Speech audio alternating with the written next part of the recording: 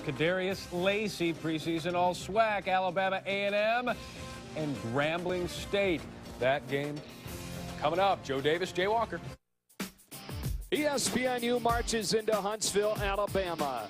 Tonight, the unbeaten Bulldogs of Alabama A&M look to run through a Grambling team that has had their number in this series.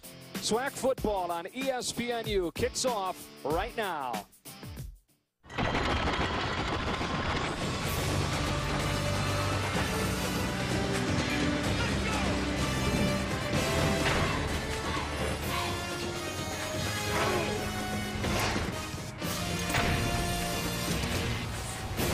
Welcome to ESPNU College Football Primetime, presented by McDonald's.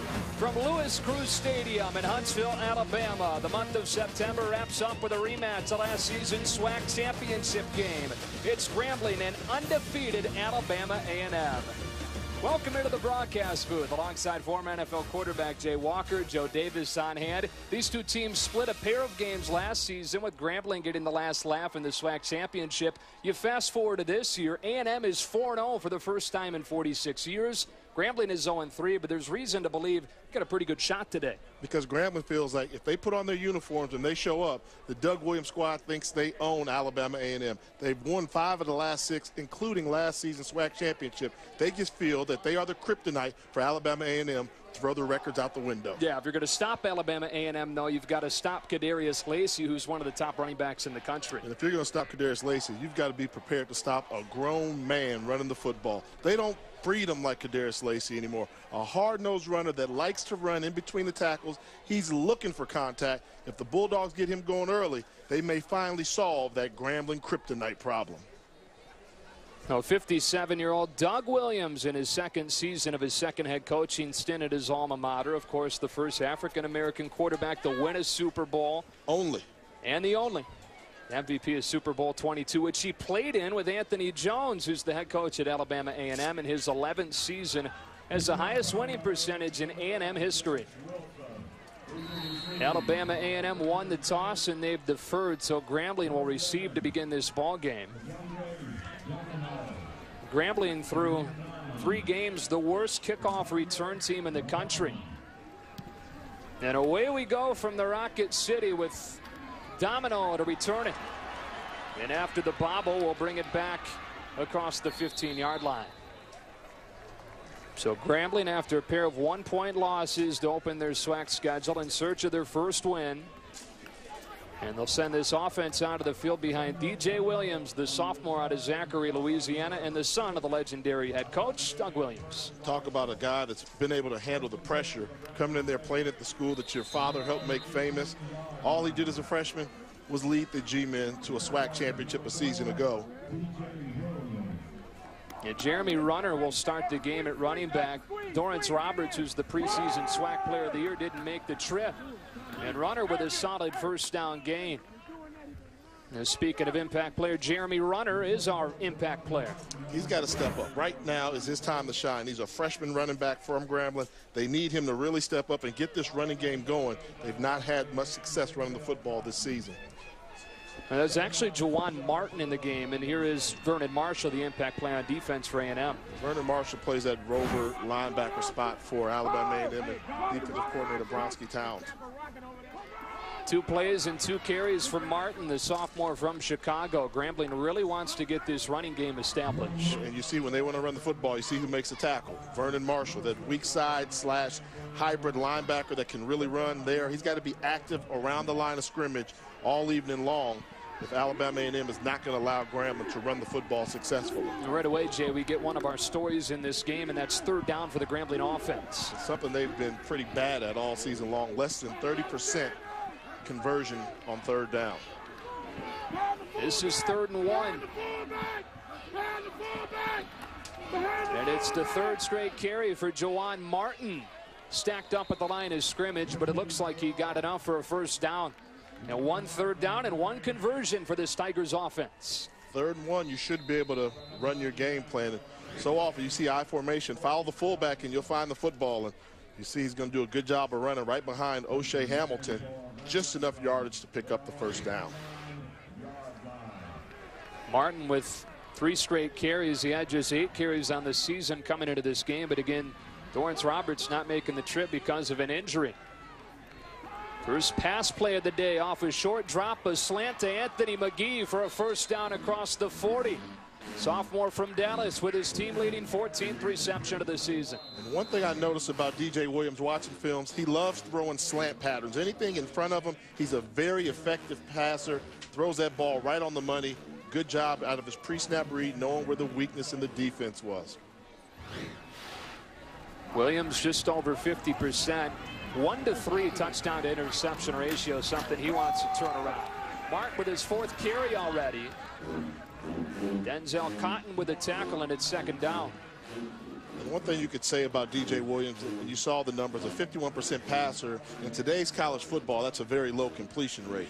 But Grambling doesn't do the wide receiver bubble screens. They have a vertical passing game. So when he's dropping back to pass, he's looking for the downfield passer, and he's a very effective downfield passer. I think because he's of his youthfulness, doesn't do a good job hitting his checkdowns, taking the short stuff. His wide receiving corps, Young, still looking for somebody to step up for that downfield passing game. Opening possession for the Tigers. And a straight drop for Williams. Given time and taking a shot. In and out of the hands and incomplete. Chester Rogers, the intended receiver, and it's third and long. See, that's the difference there. You talk about a difference in going with the vertical passing game, he knew Alabama A&M was going to bring pressure. He checked to something downfield. Wasn't looking for a five-yard gain. Max protection, two-man route, try and make a big play, trying to hit Chester Rogers, a freshman, who's making a little homecoming of sorts. He's from Huntsville, Alabama, and they were that close to connecting on a big score. Not only from Huntsville, but from Huntsville Lee High School, where they practiced yesterday. That's why they went to Lee High School. For had to be had to, had to set it up.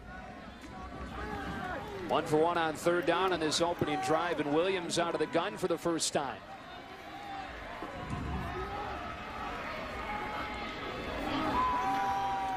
They twist up front. Williams with a strong throw to Jeremy Hernandez for a first down across the 40.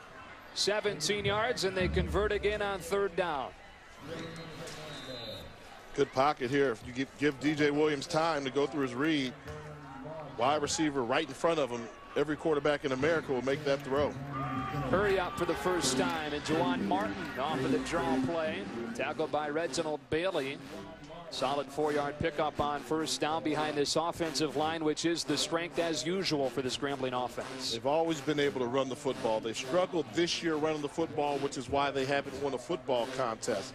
But right now, this part of the field, the Grambling kicking game has been non-existent. So you've got to start thinking this may be four down territory for Grambling. They're yet to make a field goal this year. Yeah, neither one of these teams has made a field goal this season. Jeremy Runner in for the first time now. True freshman leading the team in rushing so far. Against a run blitz, Runner with a seam. Inside the 30, where he's clocked by Julius Williams and Denzel Cotton. And one thing Bronski Towns is going to do is bring you different looks and different blitzes. He's been the defensive coordinator here at Alabama A&M for decades now.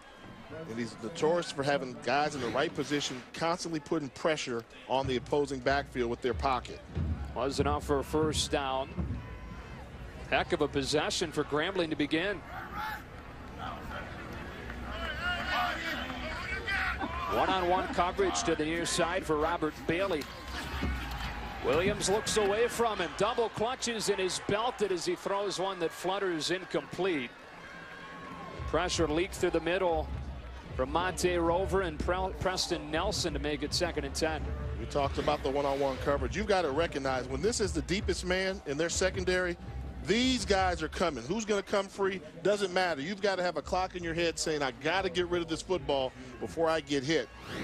Bronski Town is going to sit in that blitz package at you. You know, these programs know each other very well. That's one there. As a quarterback, you've got to know, I'm going to get hit. I've got to get rid of the ball a little bit sooner. And Doug Williams told us yesterday when he talked to him, he knew that protection would be huge for this offensive line, and they've been good so far, second in the SWAC in protecting the quarterback. On second and 10, they set up the screen. Musa Mahmoud with a reception, and he surges forward but fumbles the ball. And off to the races goes A.J. Clark.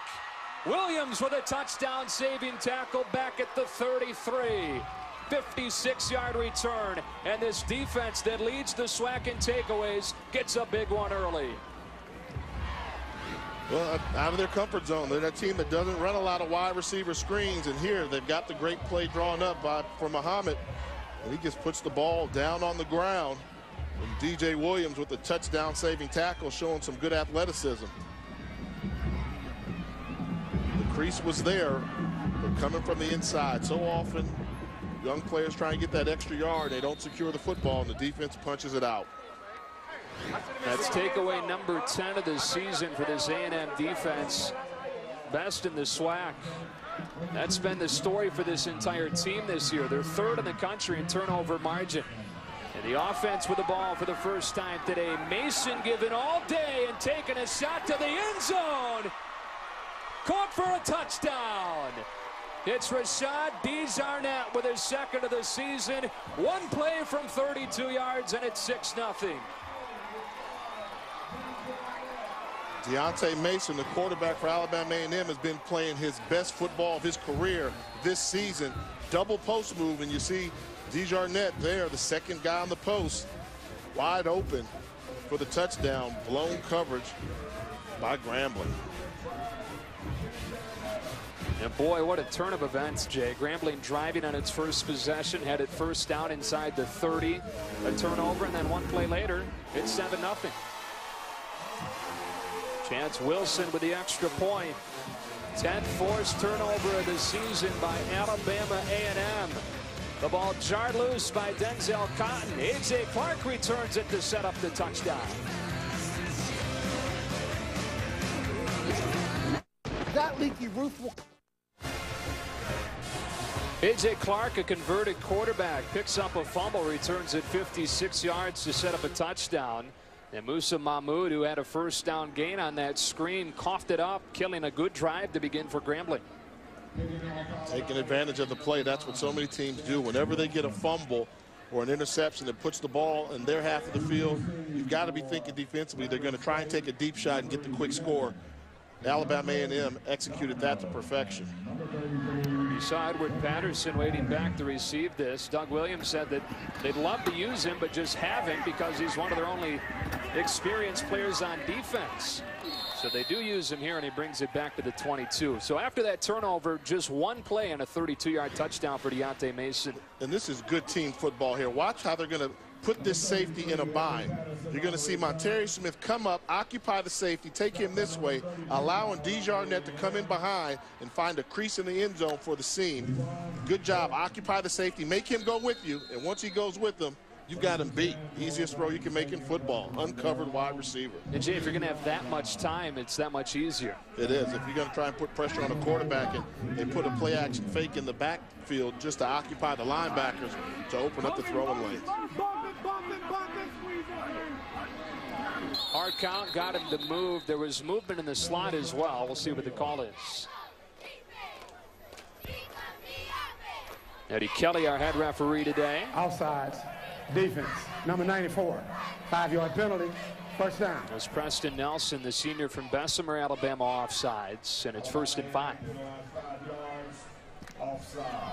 First down, five yards to go for Alabama A&M, one of the most penalized teams in the country, while Grambling is the least penalized team in the SWAC and one of the top 15 in the entire country when it comes to disciplined football. Come up, come up, come up, come up. So ahead of the chains on first down. Play action for the first time, and DJ Williams throwing the post pattern too strong for Richard Wilson. Second and five. Eric Harris with good coverage. Clearly the game plan is if they're going to give us the middle of the field, then Grambling chain, we're going to take our shots. And when you've got that type of football game as a quarterback, you've got to throw stats out the window. You're not going to come out and complete 70% of your passes against a team that's crowding the box, bringing you blitzes, going downfield all the time. So I like the aggressive nature in the play call and saying if they're going to test us, we're going to try it. You may go 18 for 35, but it'll be for 400 yards with four touchdowns. And Doug Williams told us that they're going to have to do that to loosen up the box to have his shot to get that ground game going. Get up, get up, get up, get up. On second and five, a jet sweep for Jeremy Hernandez, but discipline work on the edge from Corey Johnson to hem him in. And a flag down as he got back to the line of scrimmage. Stop at number 48 for Alabama A&M. Holding. Offense, number 70. 10-yard penalty. Second down. All SWAC right guard Clint Marsh. Well, the most penalties in a game come in the SWAC conference, 18 and a half at the FCS level. MEAC right there behind him with the Southland third. And you'll talk to some coaches around the conferences, the MEAC and the SWAC, and they say they get they're the most penalized conference because they play on TV every week. they think the officials see Joe Davis come to town and they just want to get some camera time. Yeah, they get nervous about Skywalker stepping in the building. Skywalker's here must be big. Trips to the wide side of the field on second and 15. Williams throws a completion back to the original line of scrimmage for Jeremy Hernandez and sets up a third down and nine. Yeah, you can tell the, the Grambling wide receivers are having difficulty getting open. Great job by Williams of hanging in the pocket there, but you see jerseys all over being covered by Burgundy guys. He did a good job of finding somebody coming open late in Hernandez. And that's the one thing they say that they're kind of lacking. They don't have any experienced go-to deep threat wide receivers. Third down to be big in this game for Grambling. They converted a pair of third downs on that opening drive before the turnover. Steps into the pocket, goes down the sideline. Over to break it up, Julius Williams is making his first start today. Richard Wilson, the intended receiver. It's fourth down. I mean, this Grambling offense, they're going to try and throw the ball downfield. I mean, one thing about that you see is everything's going vertical, trying to get that passing game there, but a great break on the ball by Julius Williams to knock that ball away, almost an interception. And you've got two red jerseys surrounding one white jersey. Probably need to find a better place to go with the football. Williams out of Syracuse, New York. Fabian Carter ready to punt it away, averaging 38 and a half a game. And a short one taken at the 49. Alabama A&M has run one offensive play. It produced a touchdown. They're back onto the field when we come back. Monopoly at McDonald's is back with the 20th edition Oh. and more prizes than ever. I just won $50. What? I have never won anything in my life. This is huge. How many people actually win this? Good. He's playing with the confidence that we've never seen in him before. He knows he can beat you with his legs, but he's throwing the football very well, completing 68% of his passes. Hasn't come close to throwing an interception all season long. He's really playing at a high level during his senior campaign. 5'8", 240-pound fullback Brian Nelson in to pave the way for Lacey. And Lacey races down the sideline with a cutback for a touchdown from 45 yards. Three plays and two scores for the Bulldogs, and it's 13 nothing.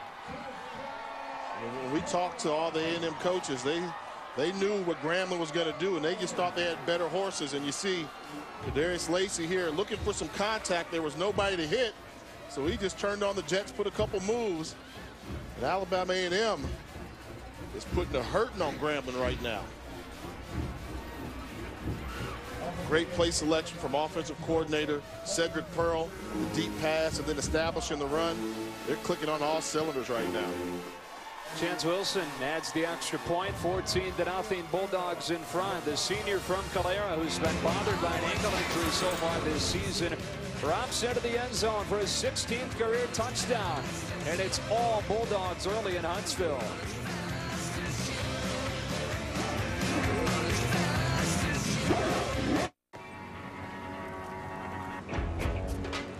Che cosa guardi, eh? Mi stai sfogliando con gli occhi? Poverino, non puoi farne a meno. Sei perso pensando che sarò tua per sempre. Fiat 500 Abarth. You'll never forget the first time you see one. A lot of big games this weekend, player. Cam Newton and the Panthers hope to rebound from last week's loss when they meet the undefeated Falcons. The Titans try to even their record against the unbeaten Texans. And the Raiders face Peyton Manning and the Broncos in an AFC West showdown. Vikings at Lions, 49ers at Jets, Saints at Packers. You get every game. Hey, man, make the call. Get the deal. Get Sunday ticket now at the lowest price in almost a decade, only with DirecTV. What it feels like when you send her money for textbooks. What it feels like when you send her the $10,000 you just won from Western Union. Be automatically entered for a weekly chance to win $10,000 when you send a qualifying money transfer within the U.S. No purchase necessary. And right now, save 50% on your next qualifying money transfer. Text the word on your screen to 40444 for your promotional code. Western Union, moving money for better.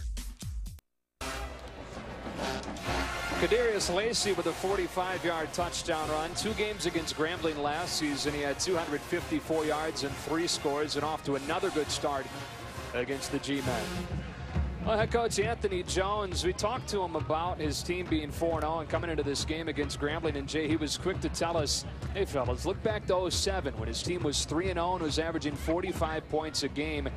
They got held to two field goals and a 31-6 blowout loss against a Grambling team that has always had their numbers. So you got to figure mentally this quick start is good for them. Yeah, they're excited, but also let's not forget in last season's SWAC championship game, they jumped out to a 15-0 lead at halftime.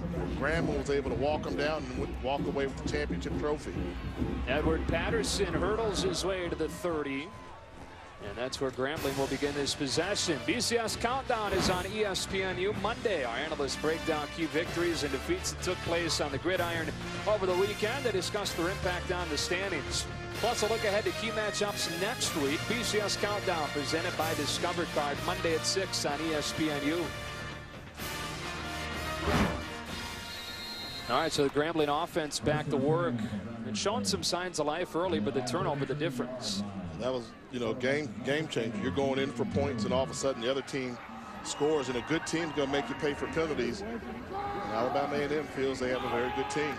Juwan Martin has gotten a big load early on in this fast and physical A&M defense, which is holding opponents to just 14 points a game. Top 10 in the country has been impressive early on.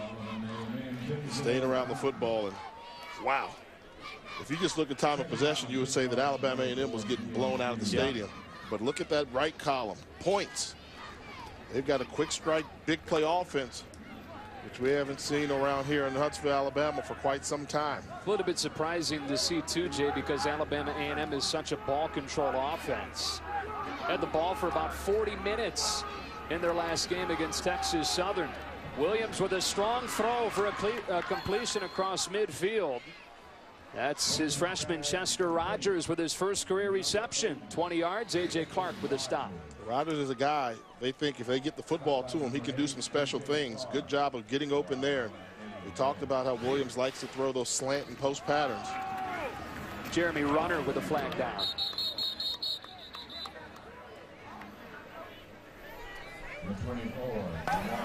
Holding. Offense. Number 67. 10-yard penalty. First down.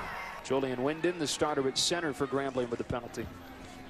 And that's the difference between teams that have not won a football game and those that are undefeated. The penalties that you got, offense is finally showing some signs of life with sense of urgency, and then you bring it back with the penalty. Second one for Grambling so far, totaling 20 yards. They were not penalized in the SWAC championship win.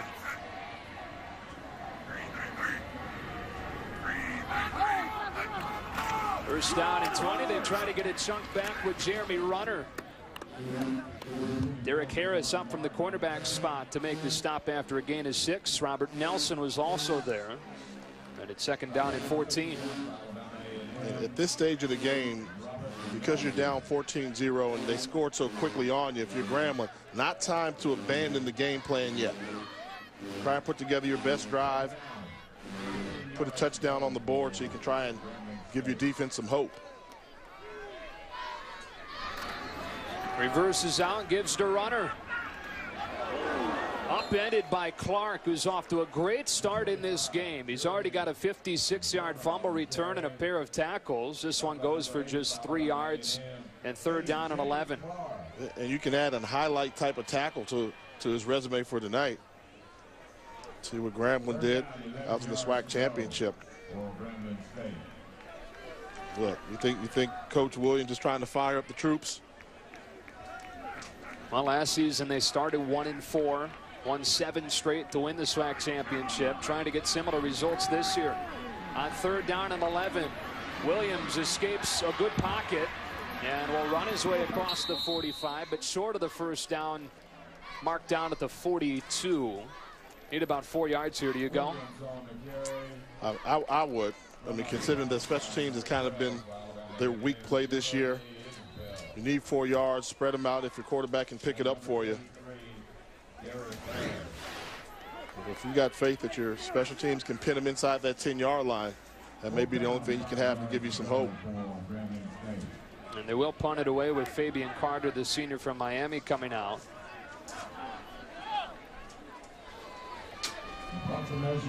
Montarius Smith ready to return it. A&M drops into a return. Smith signals for the fair catch and fumbles.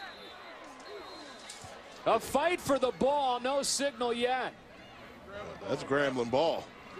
Is that just what the doctor ordered for Grambling? Leandre Vallet, the sophomore DB from Chicago, is there for the recovery and the break that the Tigers needed, Jay. Well, that's why this football is not round shaped. Doesn't always bounce evenly. And that's the same thing there where they take advantage of it.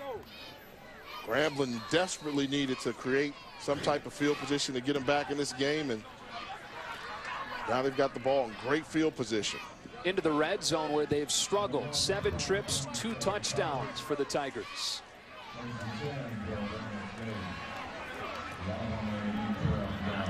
Jeremy Runner stays in the game at tailback. Six men at the line of scrimmage, so Williams will throw. And pass interference is called. You had to figure that there was somebody impeded because that ball was nowhere near anybody.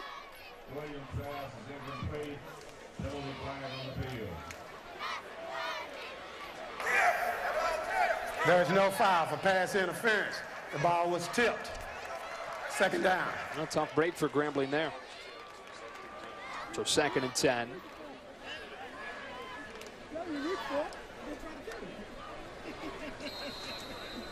Well, this is how they've done in the red zone brought to you by Verizon. Sixth in the SWAC. You got to be better. And they, they would be. They've got seven drives, four touchdowns, but what's hurting them is the zero field goals. You know, if they would have had a couple more field goal tries in there to, or made some field goals, and they would be up there. But I will tell you that the touchdown production is kind of impressive. The kicker today is Ferris Wabo, who's a guy that just got off of the club soccer team. Ball was never snapped and a flag down. False start. Offense, number 75. Five-yard penalty, second down.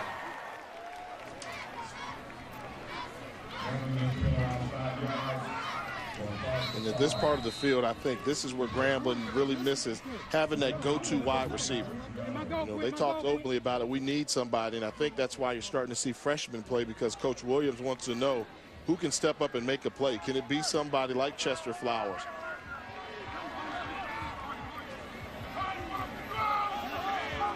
No deep safeties for A&M.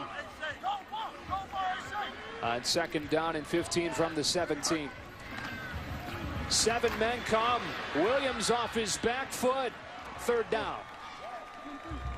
Oh, they went manned up on the edge, and he had a shot.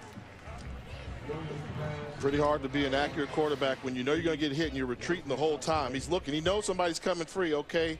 Tried to hold it as long as he could. They had only problem is they were bringing pressure, and Grambling was trying to isolate a one-on-one -on -one matchup with a double move to the outside. If you're going to have a double move, you're going to need a little bit extra time in the pocket.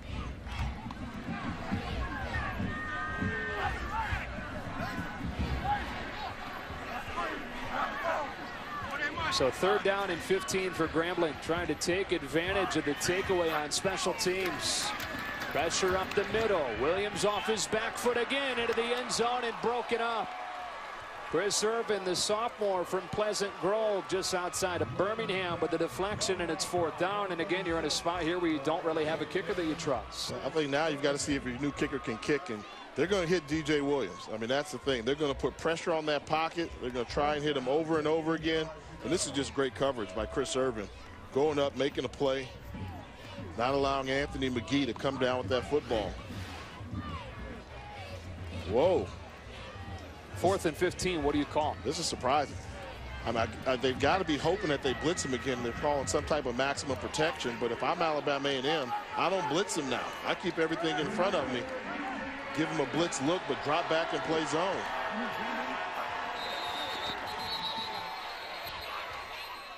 Yeah, and a timeout before the snap taken by Doug Williams. Timeout. Grambling. First charge. That will be a 30-second timeout. Timeout on the field, Grambling State University. Well, here's a look at the Sheridan Broadcasting Network top 10. Alabama A&M, one of three unbeaten teams at the top. Tennessee State number one, Winston-Salem Division two. But a lot of folks are really upset about Alabama A&M being number three. I mean, that's all I've been hearing since I've been in town. We're better than that. Now we're scoring points. Where are we? So I, I would say they got a good argument. I think you've got Arkansas Pine Bluff is going to be a team that's going to compete. And, and don't sleep on Alabama State. They're going to be heard from again sometime this season. You know, I just got that feeling that that Magic City Classic at the end of October is going to have something on the line. And I think both schools know that. Alabama A&M against Alabama State. Going to be on October 27th. Well, here's fourth down and 15. They show pressure up the middle and bring it. Williams stutter steps in, wings a touchdown. Anthony McGee got alone in the middle from 17 yards. Yeah, that's a hard one to get because the first time they showed they were going to play some zone and keep everything in front. But after the timeout, they decided they were going to bring the pressure. Nobody in the middle of the field. One-on-one -on -one coverage. If you don't get to the quarterback, one guy will make you miss. Touchdown. Risky play selection by the defensive coordinator, Bronski Town, and Grambling made him pay. And Ferris Wabo, the club soccer player, nails the extra point after a high snap. So Grambling takes advantage of the special teams takeaway, and they really had to. I mean, they did because they were, you know, the defense has not shown the ability to stop them, so they had to take a chance to become aggressive. And good job by Williams of seeing McGee in the slot, beating the one-on-one -on -one defense.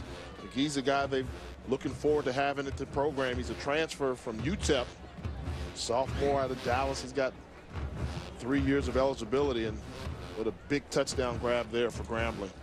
And they say that they're okay in the slots with guys like McGee and Hernandez, but like you talked about, looking for that go-to guy in the edge with good size that can go up and get it.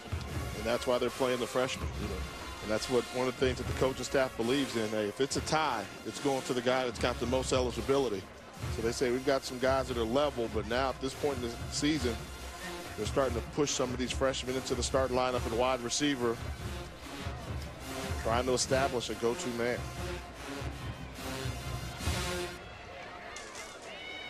That's the offensive coordinator, Byron Brown. Played for Coach Williams at Grambling. Also, it's funny when you hear Coach Williams talk about him, says he's got a lot of Melvin Spears in him, which means they like to throw the ball downfield. Anybody that knows HBCU football and Melvin Spears coach football team was going to do that tiger stretch. Vertical passing game at its best. This is Craig Johnson, who's a fullback, ready to kick it to Terrence Pride and Brendan Johnson. And it's Pride from the 23. Nine-yard return to the 32. I mean, that, that wasn't a kickoff. He, he like just muscled that ball down there. Well, it's a fullback. That's the good old days. Is he going to come out with a square toe shoe next? Could you have done better as a quarterback kicking in your day? I can't kick it off. Okay. No, no, I can't kick it off. Never any quick kicks for you? Wanted to. Never got a chance to.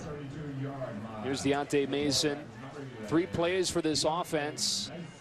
Two of them have gone for touchdowns. Kadarius Lacey took a handoff 45 yards, and Mason hit Rashad DeJarnette for a 32-yard touchdown pass. Against a four-man rush, has plenty of time, but good coverage downfield, so he tucks it and takes off for close to a first down. He can beat you in so many different ways. Even with great coverage downfield, he still gets 11 for a first down. Yeah, he's a good enough athlete that you have to account for him in the pocket. And when he breaks contain, he runs at a very good clip. Alabama A&M really protecting the ball well this season. They're one of just three teams in the country with these type of numbers. Out of this formation, they're having trouble covering the slot receiver. There he is. Montarius Smith for the reception. Sorry, didn't mean to cut you off there, but one thing you're noticing is when they come out and they go three wides, Grambling is only sending two defenders on that side of the football, and the next third guy is 15 yards down the field. And I think that they saw that and just said, hey, take the hike, snap it to the slot receiver if he's uncovered.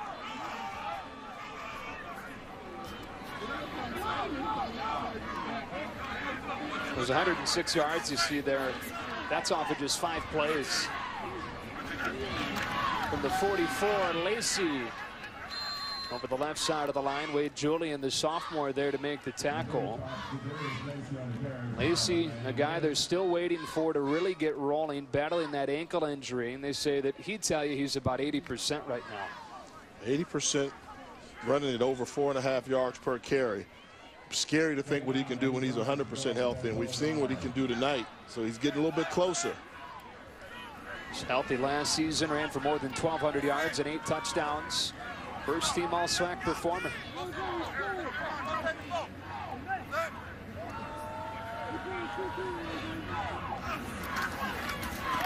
Seven drop into coverage.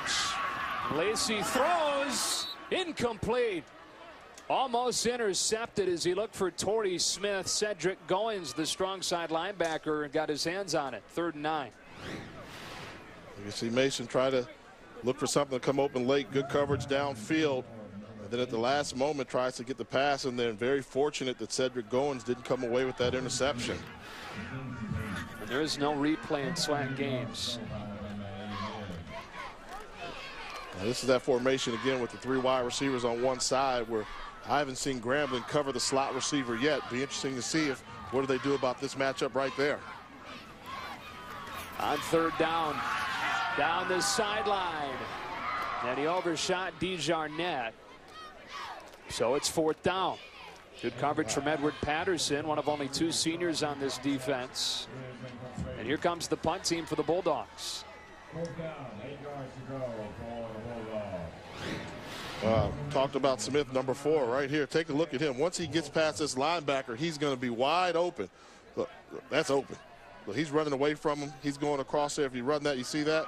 Oh, that's a big play there. He missed.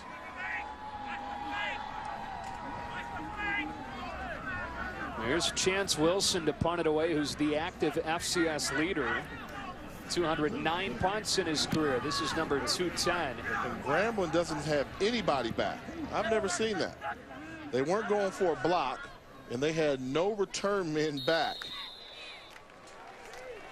38-yard punt. College Football Daily is your destination for all the latest reports and comprehensive analysis. Our college football experts dissect all the storylines and breaking news each day. College Football Daily, weekdays at 1 on ESPNU. So what do you think they're going to be talking about on Monday on College Football Daily? I don't know, a lot of stuff. Uh, if they're not talking about Geno Smith, oh, I'm my not, goodness. I mean, he, he, can have his own show with his highlight package that he's put on today. What, eight touchdowns, five incompletions, something like that? We're not talking 20, 30 pass attempts. You threw it 50 sometimes. Juwan Martin out of the shadow of his own end zone. Bowls his way for a first down to the 17. Speaking of Geno Smith, these are Skywalker type numbers here, man. Sky was never that good. I mean, this is the conference game versus Baylor, team that's ranked in the top 25. 656 yards, eight touchdowns, only missed six passes. I mean, when you throw more touchdowns than you have incompletions, uh, I don't know if you can have a better day in college football. That game ended up 70 to 63. Baylor not with a bad offense either. Martin with good vision and patience to surge forward, but there's a flag down behind him. Holding. Offense. Number 70. Half the distance to the goal. Still first down. Clinton Marsh, and uncharacteristically, that's the fourth penalty of this first quarter on Grambling. Second one on Clinton Marsh, and when he's your all SWAC offensive lineman, you don't expect him to be the one guilty of holding infractions. And we're starting to see Grambling starting to show signs of life running the football. Get some good hard runs from Juwan Martin.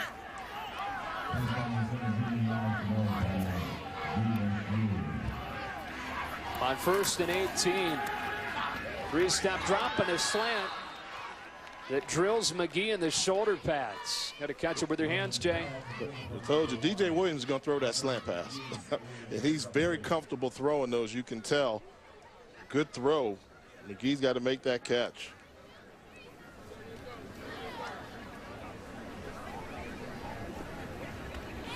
OC Byron Brown. You talk about the running game working. Part of that has got to be that they've taken so many shots downfield. And Am's got to be conscious of that.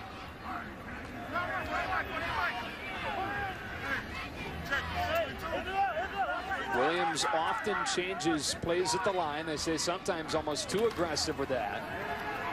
Wanted to throw a slant again, but it was taken away. Third down.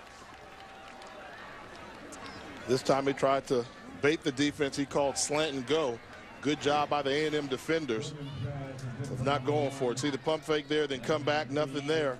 And this is another ball that McGee has to make this catch on the sideline. Make that catch, go out of bounds. You're not worried about getting hit because you're going out of bounds on the sideline. But they just don't have any type of offensive consistency with the drop balls, interceptions.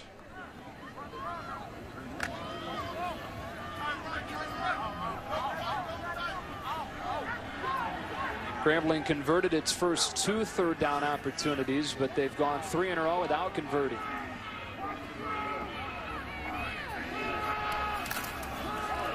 Draw play. Martin with a strong run back to the original line of scrimmage, but it's the holding penalty on second down that dooms the possession. Melvin Payne with a tackle to bring this first quarter to a close. A turnover on both sides and a touchdown as a result.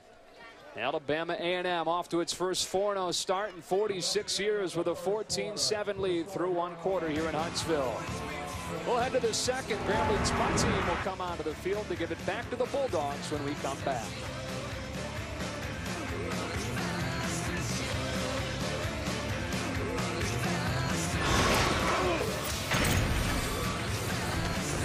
Introducing the Southwestern Athletic Conference mobile app. Now it's easier than ever to track your favorite teams with the SWAC mobile app. Check schedules, track scores, even watch highlights of your favorite SWAC teams. Fire up your competitive spirit and sign up for the brand new SWAC Rewards program. Start earning points for yourself and your school by engaging with the SWAC through your social media accounts. The 14-7, Alabama A&M with the lead on to the second against Grambling here in Huntsville. The story in that first quarter, capitalizing off of turnovers. First, it was Grambling driving the ball down the field, but then Musa Mahmoud coughs up one on the screen pass. A.J. Clark returns it 56 yards. And on the first play of the possession, Deontay Mason finds Rashad DeJarnette for the touchdown from 32 yards. Then a muff punt from Montarius Smith. Grambling takes it and takes control. On fourth down into the end zone for Anthony McGee from DJ Williams. And that gets Grambling to within seven. That is surprising right there, Jay. Alabama A&M, one of the top teams in the country in time of possession. They've had the quick strike offense. They jumped out to the 14-0 lead, but then Grambling got their first stop. Now let's see if Alabama A&M can get that offense going again. Ball start. Offense, number 34. Five-yard penalty, fourth down. Second quarter beginning with a punt for Grambling. We saw that graphic earlier, Jay, about the SWAC being the most penalized conference in the country. As a coach, what can you do to try and drop that number? Mental reps and just tell the guys they got to pay attention to detail. You know, you penalize them every time they create a penalty in practice. Maybe bring out officials to your practices. Line drive punt from Fabian Carter that Montarius Smith stays away from. Alabama A&M taking the ball back. They're 4-0 for the first time since 1966, and they're one of nine teams in the country at the FCS level unbeaten. They are, and you know the one that really um, I'm surprised, Old Dominion. I mean, they were on the ropes last year. Quarterback Taylor Heinicke had to throw for 730 yards in order for them to win at home. Very good team. And also you got Tennessee State down there as well. Rod Reed's team, pretty good football team. Number one on the SBN poll, undefeated as well. Darius Lacey on first down. For a positive gain. Tackle by Wade Julian. Just barely got across the line of scrimmage. And this is what you like about Lacey.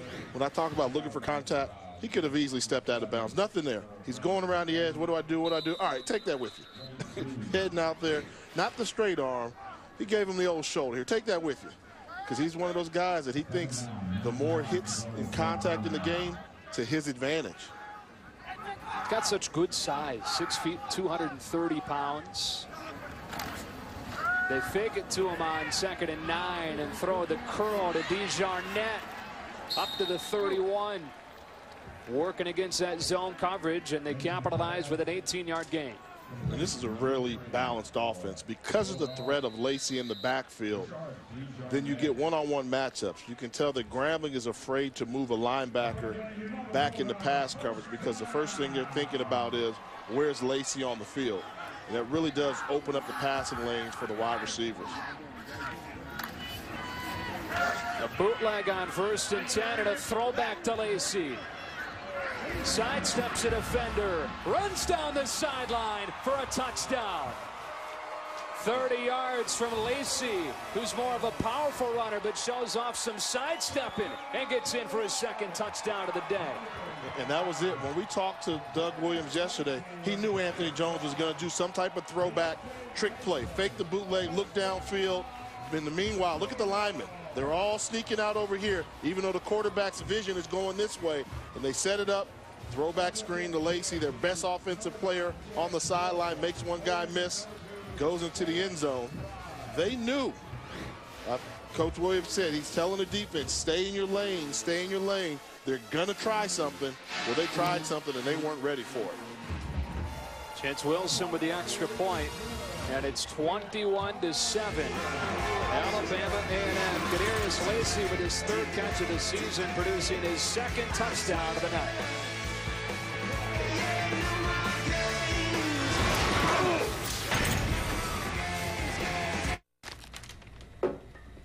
May I see your license, please? Your other license.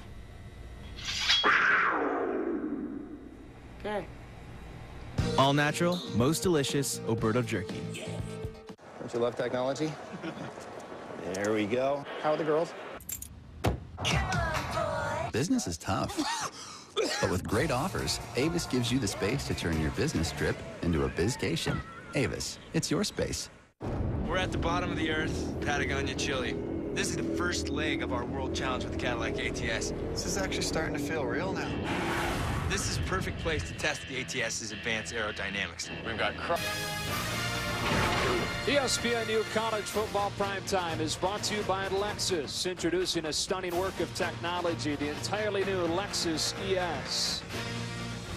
It's tailgate week here on ESPN and some good eats out there this afternoon during tailgating session for these fans. Saw one fan out there that had a, a hydraulic opening grill. You push a button and the thing open. raised open. Must be a heavy lid. That's why you would get that. If you got a heavy lid during windy conditions, you don't want the lid to slam down. I, I know about barbecue. I guess so. You, you know how to grill. I know how to barbecue. 21-7, Alabama A&M with the lead early on in the second quarter. DeJandre Domino, Edward Patterson. Back to receive Chance Wilson's kick. And again, Grambling, the worst kick return team in the country through three games. Patterson stepped out of an ankle tackle and got nailed at the 30. Somebody came from behind and just drilled him. It was Robert Nelson, the Tennessee transfer, backup linebacker, working on special teams there.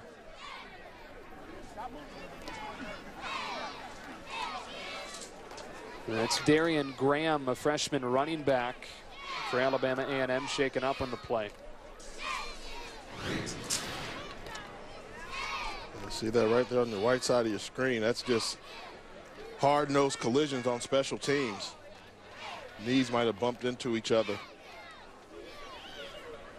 A lot of talk has been made about moving up the where teams kick off for, and I think it's because of that. You know, one thing about special teams, those are collisions. You know, the hardest hits I've seen during my football career were guys on special teams running full speed directly at each other, testing each other's manhood. And there's some people that even want no kickoffs. We'll step aside and be back after this. The all-new Lexus ES comes with a story still untold. Places it will take you. Dreams it will make come true. With technology and style that match your achievements and desires. The question is, where will your new ES take you? Introducing the all-new Lexus ES. This is the first day of my life. Swear I was born right in the doorway. I went out in the rain, suddenly everything changed. They're spreading blankets on me. You're not just looking for a house. You're looking for a place for your life to happen. Zillow. My husband and I started a business together. We wanted an easier way to accept credit cards. So we got GoPayment. The card reader was free, and so was the app. We just swiped the customer's card and let them sign with their finger. Business was booming during the summer. So we grabbed our GoPayment and set out for ice cream weather. There's no commitment, no monthly fees, and now we never miss a sale or a heat wave. GoPayment from Intuit, maker of QuickBooks. Get your free card reader at gopayment.com. The first look is only the beginning.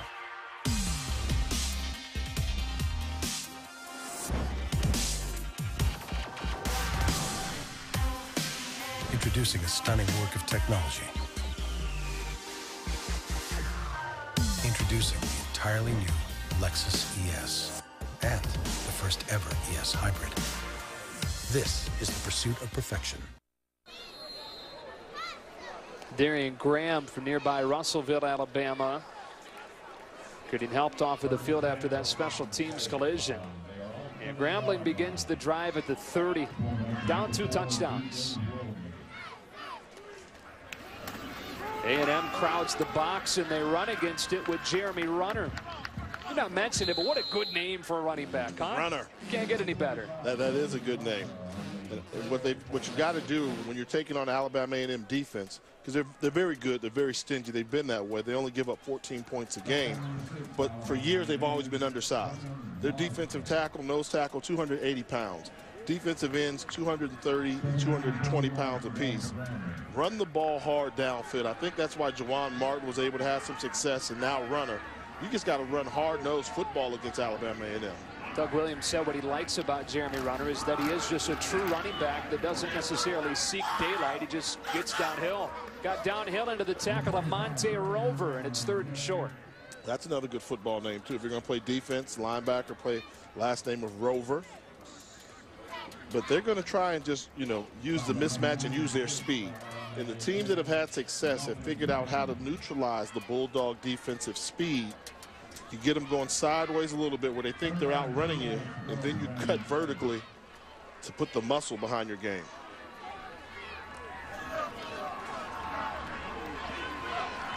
Third and short. Converted their first two third downs tonight, 0 for 4 cents, in a draw play for Jeremy Runner, who knifes his way for a first down. Denzel Cotton made the tackle, and Grambling keeps the drive alive. See, and they're starting to figure it out. Don't try to go sideways. Give them a little pass set and then go downhill. Let them think that they've got you with their speed, so you give them one look, and then you decide to muscle the football at them. Been a good mix of play calling for this Grambling team so far. The plan was to go downfield early, try and loosen up the box some, and get them some running room, which you're seeing now.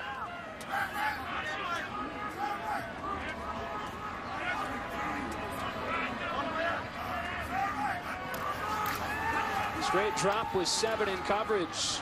Williams heaving long and out of bounds. Didn't give Chester Rogers a chance on that one. And that's the one where you've got that play called, but they covered well. You'd like to see him, well, maybe just take off and run. Or let's go for a check down. Get the ball to one of the running backs. There was plenty of time to throw the football in the pocket. But he just locked in on where he was going with the football with the double move. His dad was a gunslinger, too. He liked to take shots. Yeah, ask the Denver Broncos. Yeah. ask John Elway. That performance that Doug Williams put on in the Super Bowl, I still am yet to see anybody take over a football game like he did that second quarter versus Denver. MVP of that Super Bowl 22. Three SWAC coaches were on that Redskins team. Steps out of the pressure. And runs for a short game, but did well. And four current head coaches in the SWAC have won Super Bowls as a player. Three of them part of that one Redskins Super Bowl team, including Monte Coleman and then Anthony Jones, who's the head coach on the other sideline tonight. And if you take a look at that, Anthony Jones' team is winning. Doug Williams' team is struggling this year, but they're the reigning champs. Monte Coleman's team, Arkansas Pine Bluff, probably been the surprise of this year's SWAC conference. And Reggie Barlow at Alabama State playing some good football as well. Converted third and short earlier on this drive with a draw.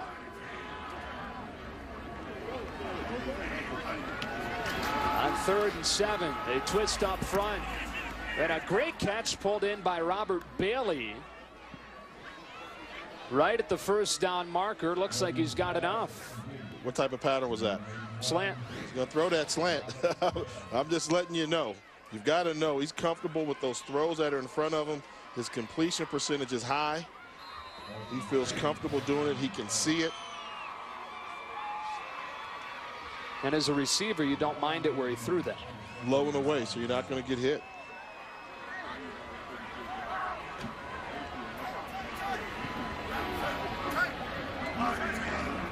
In the Bulldog territory. A first down run for Jeremy Runner. Met in the hole by Denzel Cotton. Gain of one, second and nine.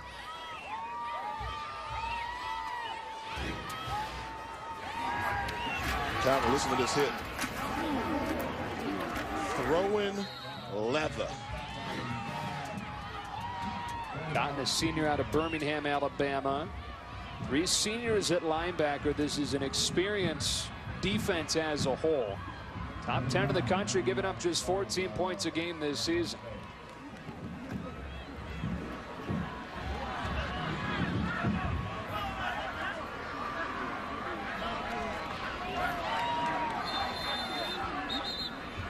And Doug Williams will take his second time out of the half. Timeout. Grambling.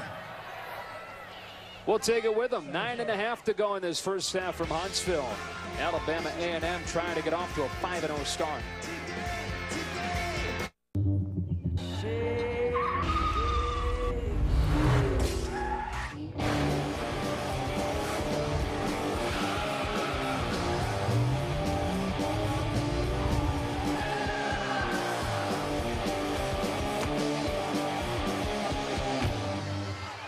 I love being under house arrest.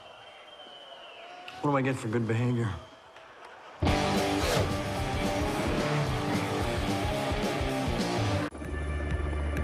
Reasons to follow another's footsteps? Zero. Things weighing on your mind when running? Zero. Reasons to buy an Altra shoe? Zero. Drop.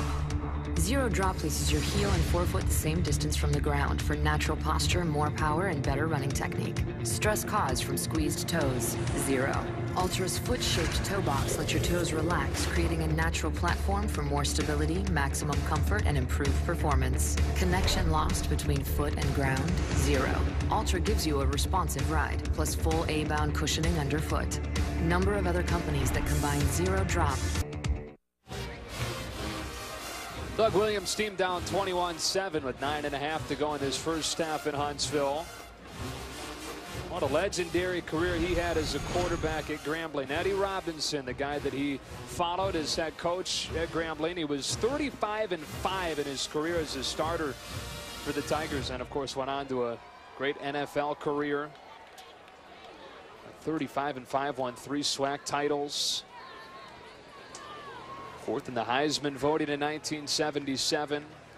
And then a 2001 College Hall of Fame inductee. And he said, he told DJ, DJ told him he wanted to commit to Grambling. Now listen, son, you're going to be in quite a spotlight. You're going to be under the microscope going in there with the last name that you have. And DJ said to him, I understand that. I want to go there and create my own legacy. And at that time, Doug was not the head coach at Grambling. Right. Coach Rod Broadway was still there. Doug said once he understood that DJ knew what Graham was all about, the decision was out of his hands. He just had to support his son. Eighth play of the drive.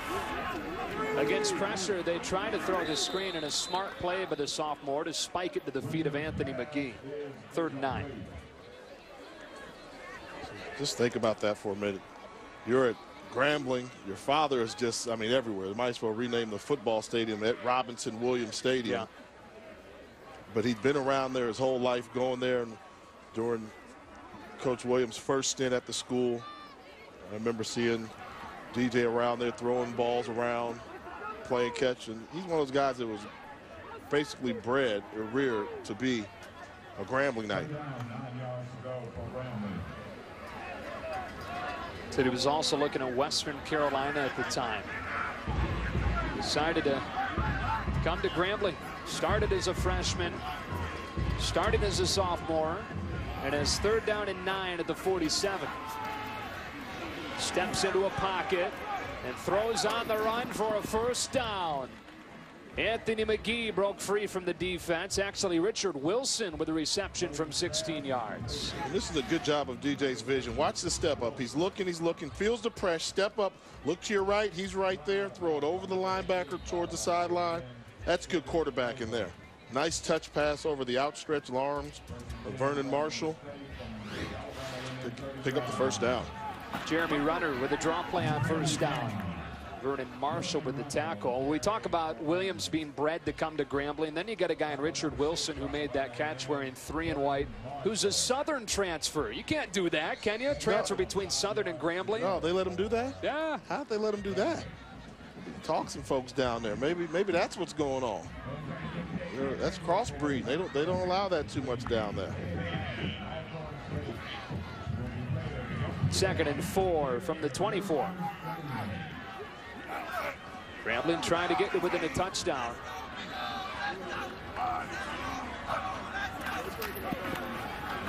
Williams steps into the pressure and lobs one for a first down. Robert Bailey cuts back inside the 15. 13 yards, but a flag down back at the line of scrimmage. Might be holding. Holding. Offense, number 75. 10-yard penalty, second down. Anthony Cherry, the left tackle.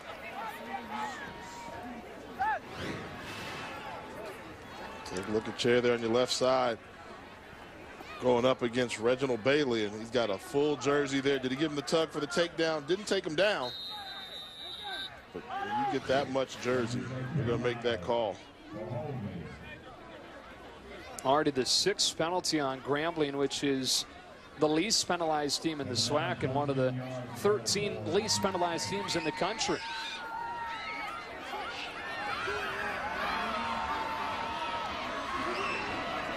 So instead of a first down in the red zone, it's second and 14 at the 34.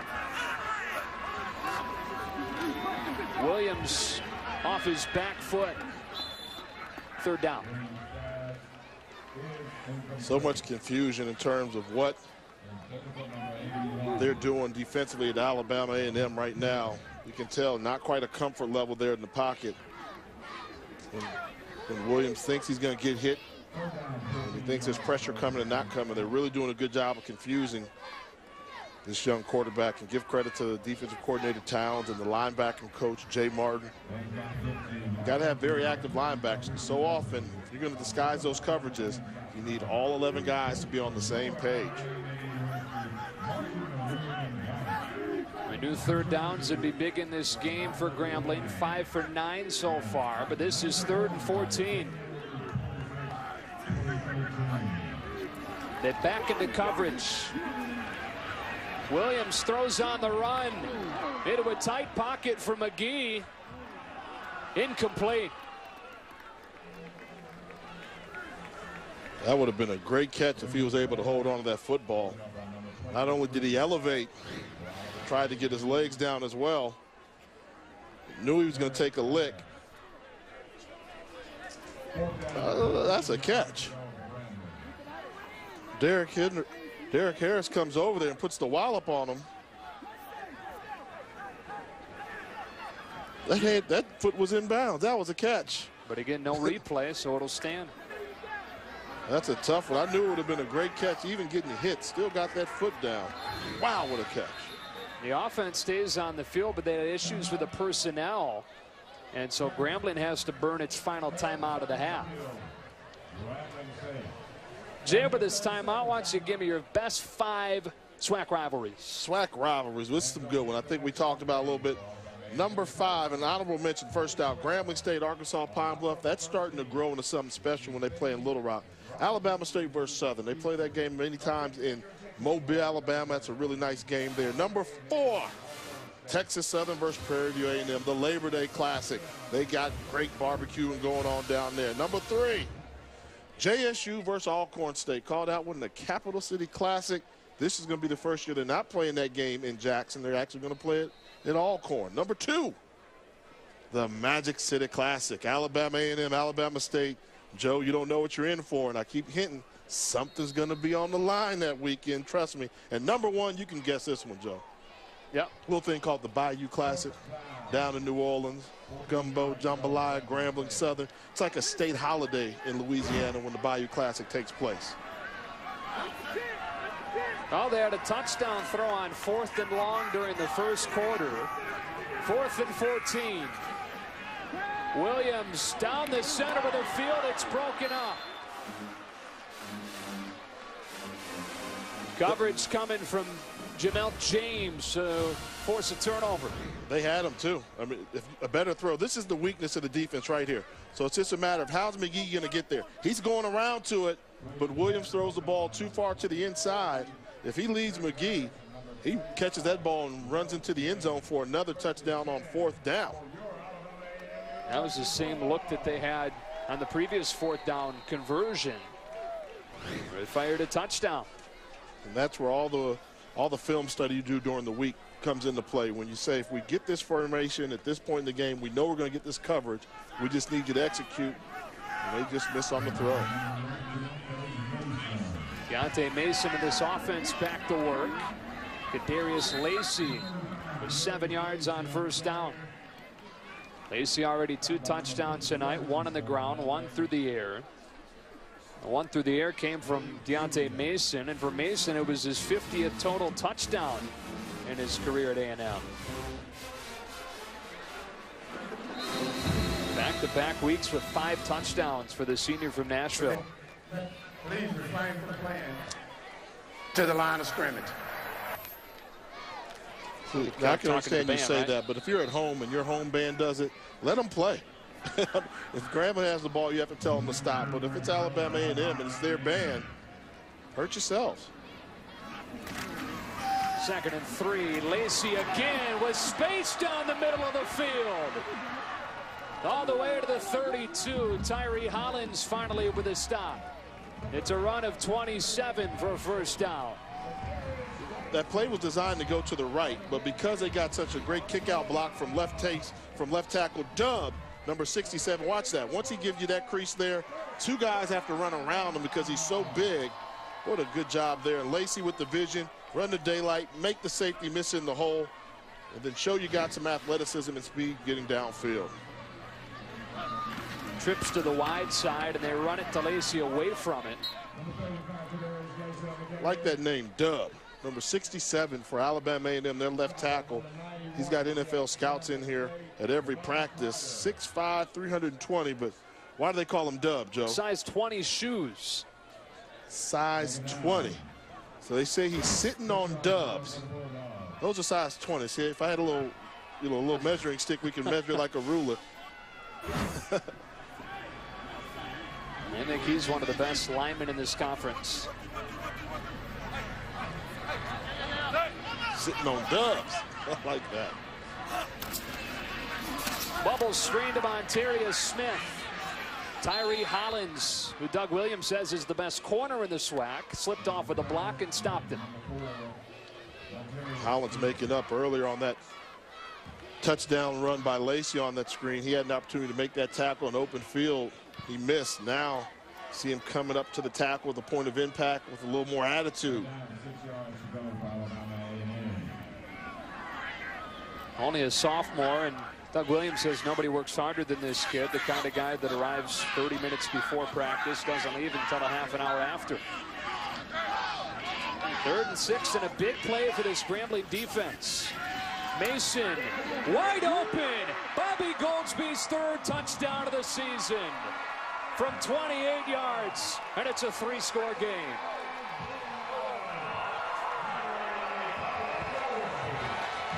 They are picking them apart right now. I mean, you, you got the tight end running wide open down the seam. You see right there, I mean, look at the lane. Hollins, you have to play him over the top, peeking in the backfield. Zone coverage, you're responsible for the deep third. No point taking a look back in the backfield. Chance Wilson's extra point, just like that, makes it 28-7. Bobby Goldsby got his first two touchdowns of the season last week. He adds a third tonight. And it's 28-7 Bulldogs as they try to march to 5-0. Oh. Alabama A&M rolling to a 28-7 lead late in this first half. Bobby Goldsby with his third touchdown of the season. And there's a new late night show on ESPNU, the perfect nightcap to your sports day. Unite, ESPN's first late night entertainment show. Weeknights at midnight on ESPNU. I was watching that last night. Those guys have a lot of fun. There's a tweet today, Jay, from Unite, at Unite. Geno Smith doesn't put up video game numbers. Video games put up Geno Smith numbers. I, I, would agree with that. Yeah. I, I, would agree with that. It looks like he's playing with the joystick, though, making it look so easy. You think Geno Smith is upset that his defense isn't really that good? Yeah, it's too easy for him. Helps him out. Right. That's one thing about it. If you got a defense that, you know, oh, right, right, right. I see what not you're going to stuff folks because if his defense was any good, yeah. then he'd have to hand the ball off and run it. Didn't want to do that. Yeah.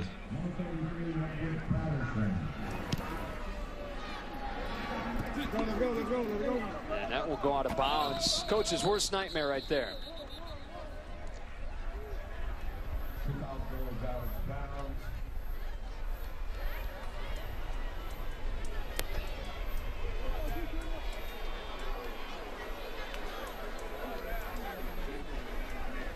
Chance Wilson. Kick out of bounds by the kicking team. Bobby plays 30 yards from the spot of the kick. First down, Grambling. So it'll begin at the 35. Let's take a look. Touchdown, Jay. Take a look at this touchdown. Great job by Cedric Pearl putting Lacey on this side along with the tight end Goolsby, really putting the secondary in a bind. Holland is going to look. Where's the run? Where's the run? Oh, it's a pass. He enables Goolsby to get by him. Touchdown there, but that's schematically picking apart this Grambling defense like they've been doing all evening long. Grambling in desperate need of a score. Juwan Martin on the draw. Vernon Marshall there to put an end to the play after a gain of two.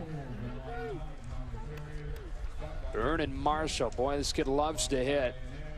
Up from that weak side linebacker's spot. It's been big plays for Alabama A&M. They're averaging 34 yards per touchdown. Yeah, and this, this has been thorough. I mean, I, I think right now, Graham doesn't know what hit him. Alabama A&M said they were good. They'd heard that before, but offensively, A&M has just picked them apart. Defensively, they really smashed them around.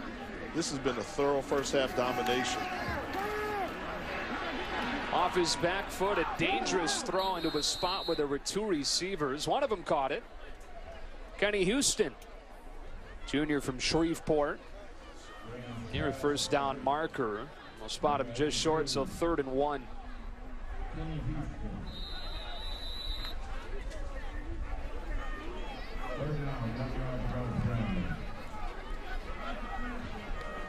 Next week, Jay, you and I will be on the Sun Belt Tour Thursday night, Arkansas State, FIU.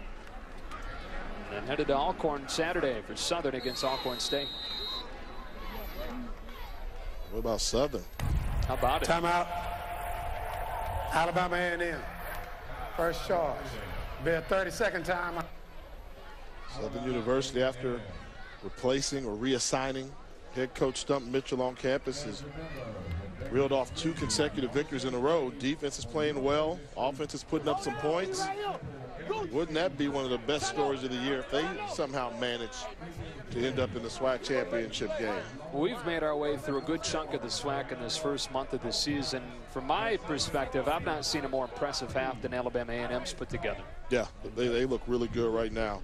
And, and they've been saying it. I mean, this is a team that if they need to win with defense, they've proven they can do that, beating Tuskegee 7 to 6, beating Arkansas Pine Bluff 14-10. So in those defensive matchups, they're ready. And now with the offense really starting to pick it up, very, very, very tough matchup. Anybody taking on the Bulldogs. And I think the look on that face, Coach Williams is, is recognizing that. Big third and one here. Grambling needs a score before the break. Williams runs behind O'Shea Hamilton for a first down. Corey Johnson making his first career start today, made the tackle. One of the good things about Alabama A&M's defense is we know they're active and they're small, but they've got so many defensive linemen that they put into the football game. Melvin Payne, Anthony Lanier, Corey Johnson, another backup in there making tackles. Fresh bodies on the defensive line at all times. They've been the key to defensive coordinator Bronski Town's system for a long time. Williams throwing that slant dangerously. And Jeremy Isabel, brother, the backup quarterback for the Bulldogs, broke it up and nearly had six the other way. Going back to that defensive line talk, one of the things that surprised me about this year's version of the Alabama A&M defense, not a lot of sacks. They're doing it by team numbers. I think the most sacks on the team is a linebacker with two. Yeah, they've got less than one a game. Yeah, and that's funny because this is the school that produced Robert Mathis to the NFL. You know, they, they had Corey Hart and guys like that that were always getting after the quarterback in the defensive lineman position.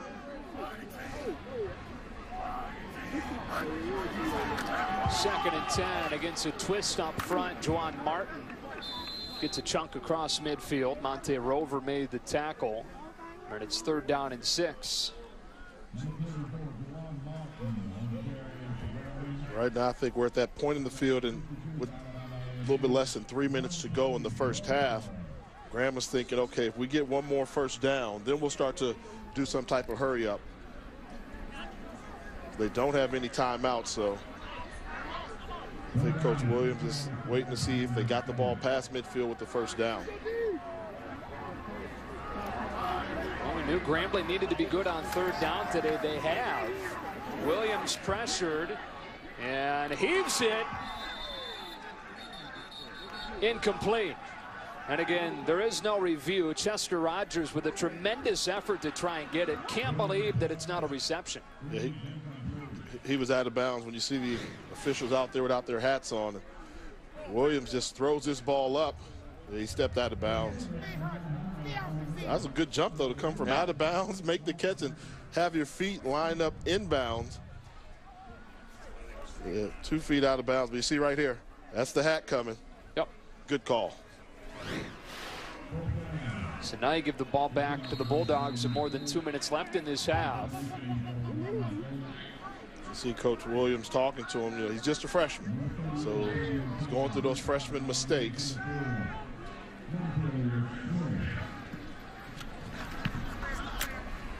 Montarius Smith, who fumbled one earlier, takes a fair catch at the 13-yard line. State Farm halftime report coming up in about two minutes. Balls and dogs battling it out. Connor Shaw's streak, we'll talk about that. And then how about the explosion? 133 points between Baylor and West Virginia. That's all to the State Farm halftime report. And Schick will be there with Charles Arbuckle, Tom Luginbill.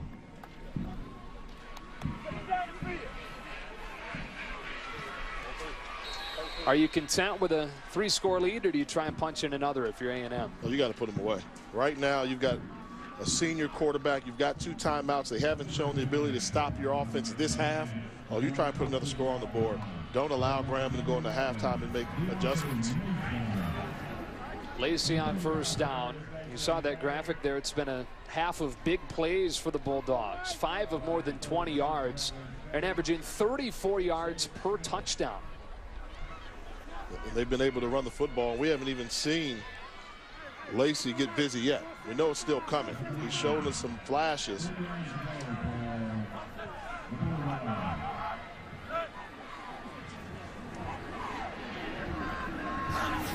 On second and three, Mason with coverage downfield will run for a first down. And the clock stops to move the chains with the ball at the 30. David Smith came back to make the stop. Isn't it so easy to be a good offensive team when you've got a quarterback that's in control? I mean, he's making it look easy. He's almost toying with this Grambling defense. They think they've got great coverage in the secondary. He's busy running 10 yards down the field.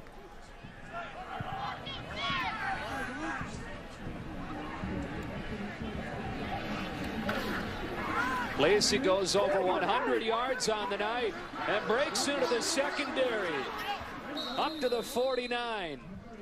20-yard run. Tyler Smith forced him out of bounds, and boy, the ankle looks just fine. Looks really good. And if they can run and get him going, once you get number 67, Dub, washing down the rest of the line, it allows Lacey to bounce to daylight. You say he's only 80%. That's what coaches told us he would say he is. It usually means that it's less than that. It's pretty darn close to 100% tonight. All day for Mason. He held out of the ball too long. Excellent coverage downfield from the Tigers. One of the few times they've been able to get to Mason tonight. As you said, nowhere to go. Good team defense. Secondary had all the receivers covered. And more importantly, the defensive line kept Mason in the pocket.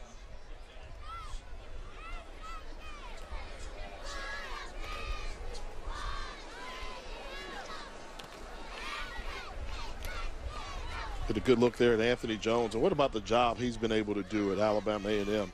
I mean, this is a program that year in, year out is always in contention for that SWAC championship game on the eastern side of the conference. Does a good job under the radar, but I think he's got that confidence. He, he says this team here, and you know his personality. We talked to him. He's not going to give you too much, but you could almost hear it in his voice. We may be on to something here. Five SWAC title games for Anthony Jones, just one win in those five title games. Lost to Grambling last season, a game that they led by two touchdowns at halftime. On second and long, he looks short and he'll go long. Montarius Smith went up and got it. Working against Tyler Smith for a first down. Not a 34-yard completion. They are picking him apart. Had that ball been thrown ahead of him, would have been a touchdown, but a great job by Smith to come back to the football. Block inside of a minute in this half. Lacey up the gut, sticks the shoulder down. Wade Julian made the tackle to gain a four, and it's second and six. Yeah, and I come out in that same formation, give the play action to the play action look to Lacey and hit Smith running down the seam. 123 yards in the ground for Lacey now. Inside of a half minute. Yeah, this is Mason on the carry. Gets blocks in front and scores. There is a flag down and a 19-yard touchdown run from Mason. Hold. Offense, number three. 10-yard penalty. Beat second down. Rashad DeJarnette with the stock block. Called for the holding. It's a tough one, but you know, we talked about quarterback play we've seen all season. I haven't seen a quarterback play with more confidence than Mason is displaying tonight. Good read, pull the ball. Great job of getting Joe Quincy Eugene up the hole as a lead blocker. And oh, uh, I don't know. pretty, pretty technically sound block there. It seemed like he had the arms extended.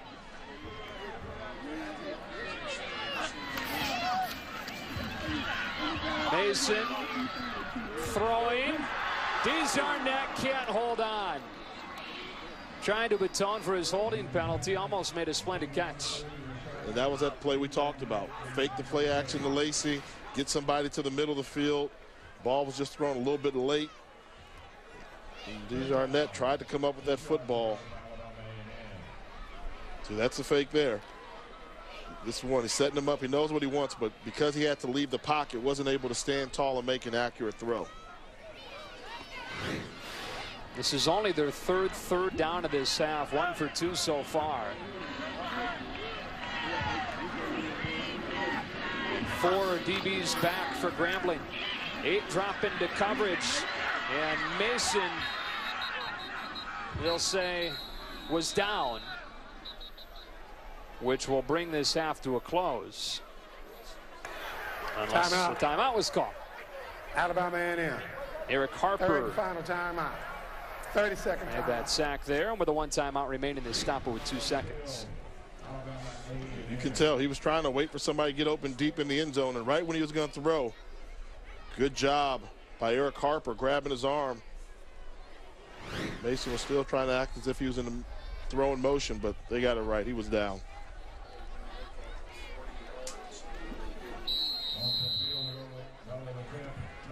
So they'll attempt the field goal from 40 yards for Chance Wilson, who's 0 for 2 this season, missing a pair from 42.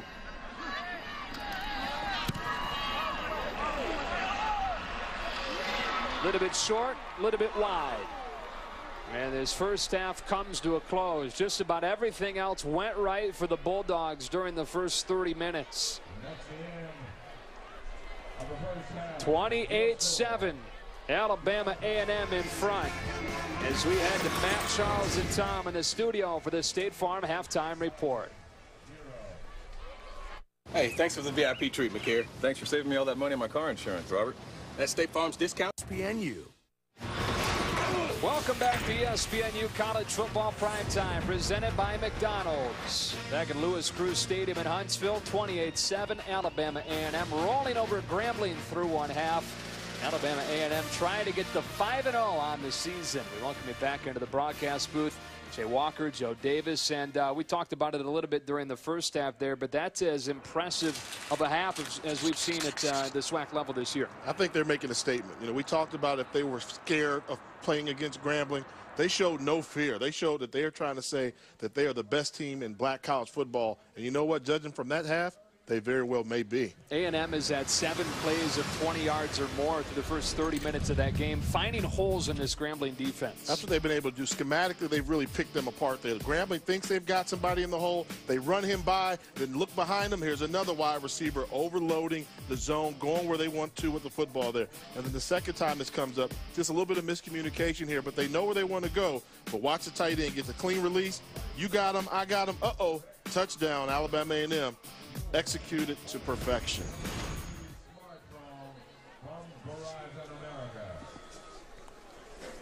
Coach Jones hoping his team can get the 5 and 0. They are 4 and 0 for the first time in 19 for the first time since 1966. Taking advantage of those big plays over the first half of this game. Doug Williams said his team didn't practice like they were 0 3. They had their best practice week of the season, which speaks even more highly to the way Alabama A&M has come together early on this year. he's trying to learn about his football team. You know, the folks you talk to around Grambling say, this is our youngest team we've had in quite some time. So he's trying to learn that, but also at the same time, you've got some people saying they can't remember seeing a Grambling team look this poor in some time as well, specifically with that first half of football. I think right now it'll be character time to see the direction of Grambling State football in 2012. Are they going to be able to get it together or not? I think the second half is going to be the perfect indicator. The fullback Craig Johnson boots it away to Terrence Pride. Spinning his way across the 30. 16-yard return and Alabama A&M on offense to begin the second half. Deontay Mason, 7 of 10 for 155 yards and three touchdowns through the air. Now in his last, let's see, 10 quarters, the guy's got 13 touchdowns. Not throwing any interceptions. I mean, that's phenomenal. Hasn't thrown an interception this season. He's got it going. And I think right now it's going to be important to see what changes the defensive coordinator Andre Robinson from Grambling State make in order to slow down this Bulldog attack because Alabama A&M was on cruise control throughout the first half. Going to be tough to come from behind against a team that's one of the best time of possession units in the country. Kadarius Lacey, who had 123 yards during the first half, gets the touch to begin the second half. Tyler Smith makes a tackle. Be very tough to come back if your defense can't make any stops. You know, that's going to be the key. You can't get back into a football game when you're down by 21 if you continue to allow the other team to score. So they've got to get some stops, get a score, then maybe a turnover or another stop, and put a little bit of pressure on Alabama A&M. Second and eight, Lacey again cutting back into open space and running through a defender across the 45. 12 yards for Lacey. Has now got himself more than 135 tonight. Where, where's the cutback lane been all night? It's been to the left side. They start him running up the middle or to the right. He cuts it back to the left, following Jamal Johnson Webb, or Dub as they like to call him. That's where the money's been for Kadarius Lacey this evening.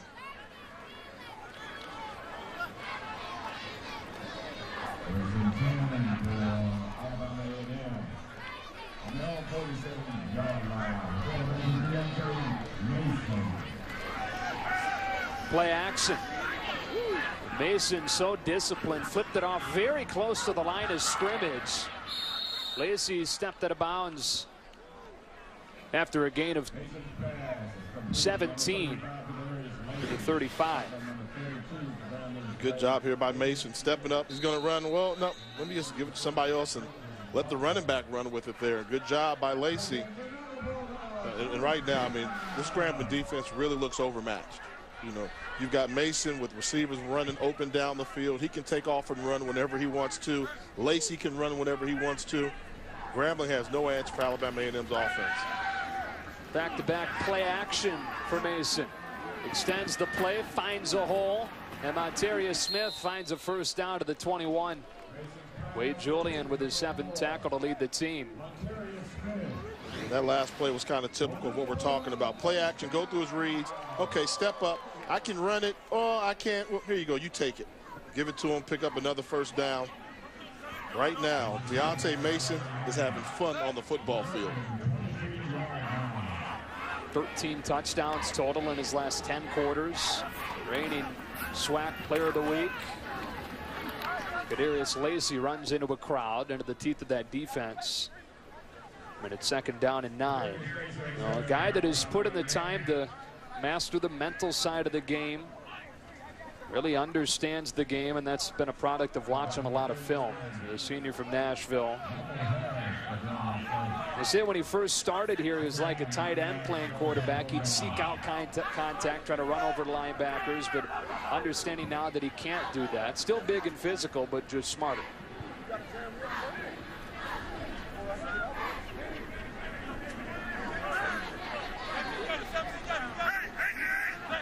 Run that play clock down some. The play clock being kept on the field this evening, malfunctioning on the stadium clock.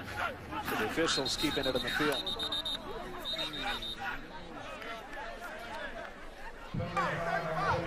False start. Offense, number 68. Five-yard penalty, second down. Ellen Cruz, the right tackle. Now, though Alabama A&M has had the ability to move the ball down the field right now pretty effortlessly on this drive, they want to come out and score. They don't have much of a kicking game. So now's not the time to get comfortable and start making mental errors with penalties. They need to get another touchdown. They can really put this game away. But if they go for a field goal attempt, you know, the odds are they won't convert.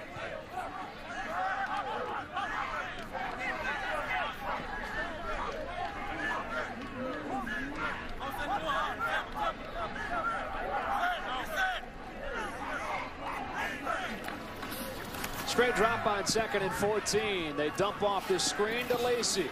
Makes one man miss. Upended across the 20. 10 yard gain. Tyler Smith up from his rover position to make the tackle. And Lacey's monster day continues. I mean, good play selection there. Grambling's going to try and bring some pressure. They think they've got the quarterback. Ah, we tricked you. And then you get it to your best player in open space, making one guy miss. They're having so much success offensively. They can call the whole playbook, and it'll probably work. I mean, if they wanted to call Statue of Liberty, something tells me it would work. This is one of those nights it's fun for everybody. Fun for everybody. Flea flicker, double reverse pass. Just empty the playbook. They're clicking on all cylinders. Yeah, unless you're in a white jersey. Not too fun there, right? Not too much fun there. Third and three. And a quarterback run for Mason. He fumbled the ball.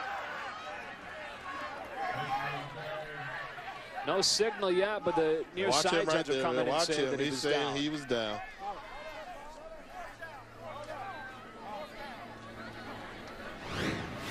The second effort there actually seemed like there was a larger hole there. He was going to get it.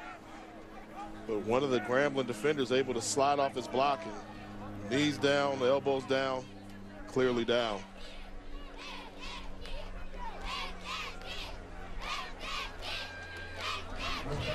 Eccles with the tackle. Fourth down and one, and they'll try a field goal. From 31 yards for Chance Wilson, who missed from 40 to finish the first half. And Wilson with his first make of the season. Alabama A&M takes three points on their opening possession of the second half. Father-son combination as far as head coach and quarterback for Grambling. We'll look at some other father-son combos when we come back.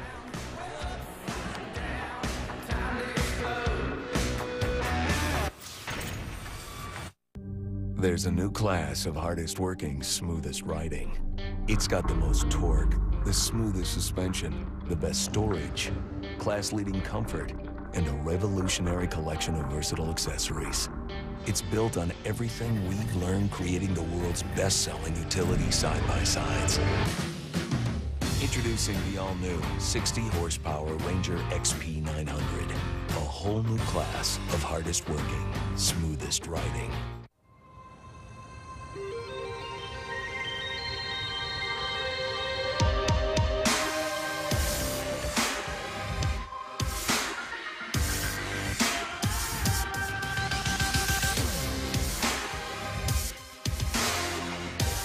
Introducing a reason to look twice. Introducing a stunning work of technology. The entirely new Lexus ES and the first ever ES Hybrid. This is the pursuit of perfection.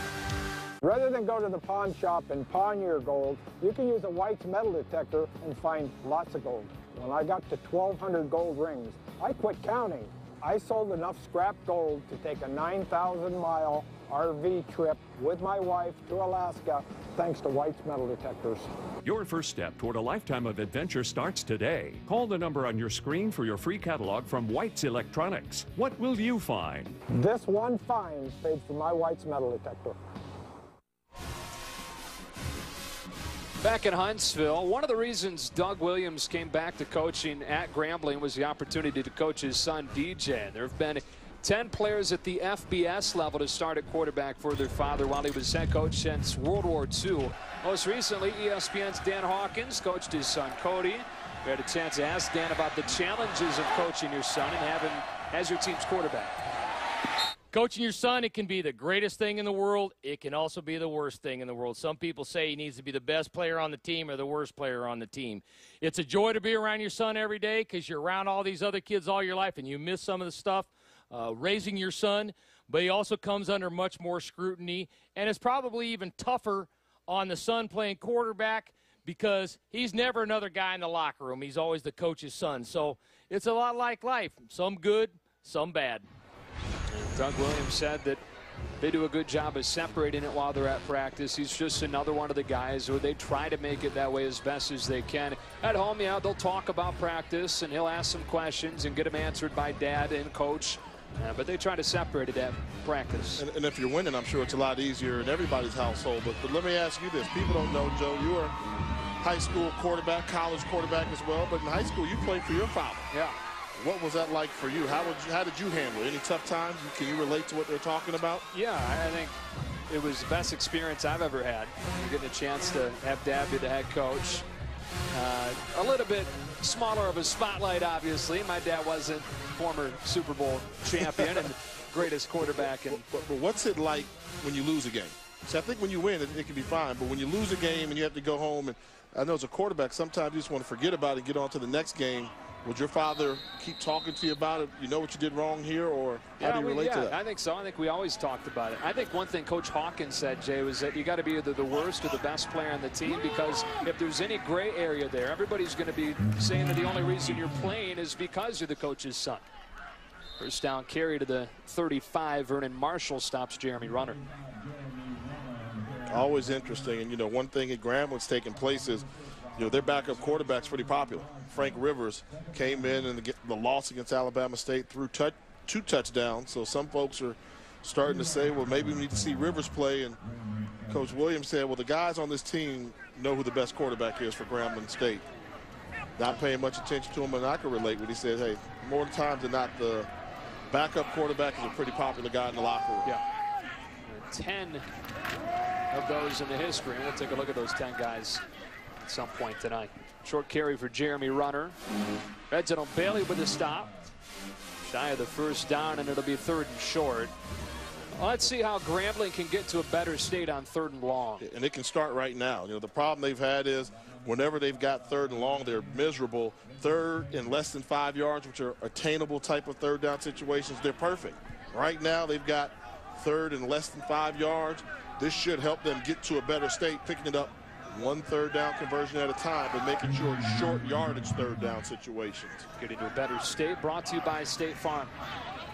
On third and one, Williams can run for a first down if he wants to. Instead, zips one incomplete. And probably didn't have enough room to run for a first down as you look for Musa Mahmood, and it's fourth, one, fourth and one. See, I'm different, which I think he can run okay. for a first down. Third and two yards, step up, take off. The linebacker's 10 yards deep. You can just run and dive forward and pick that up there. I think if you're going to throw that ball downfield, somebody's got to come wide open. That's a pretty well covered wide receiver there. DJ Williams is a pretty good athlete, too. He has the ability to make one guy miss. So Fabian Carter out there for his fifth punt. Man, a short one taken by Torrey Smith at the 30. Alabama A&M trying to get revenge from last season's SWAC championship game and trying to get the 5-0 on the season. College. Welcome back to ESPNU College Football Primetime, presented by McDonald's. Let's take a look at our Bring in the Flavor, brought to you by McDonald's.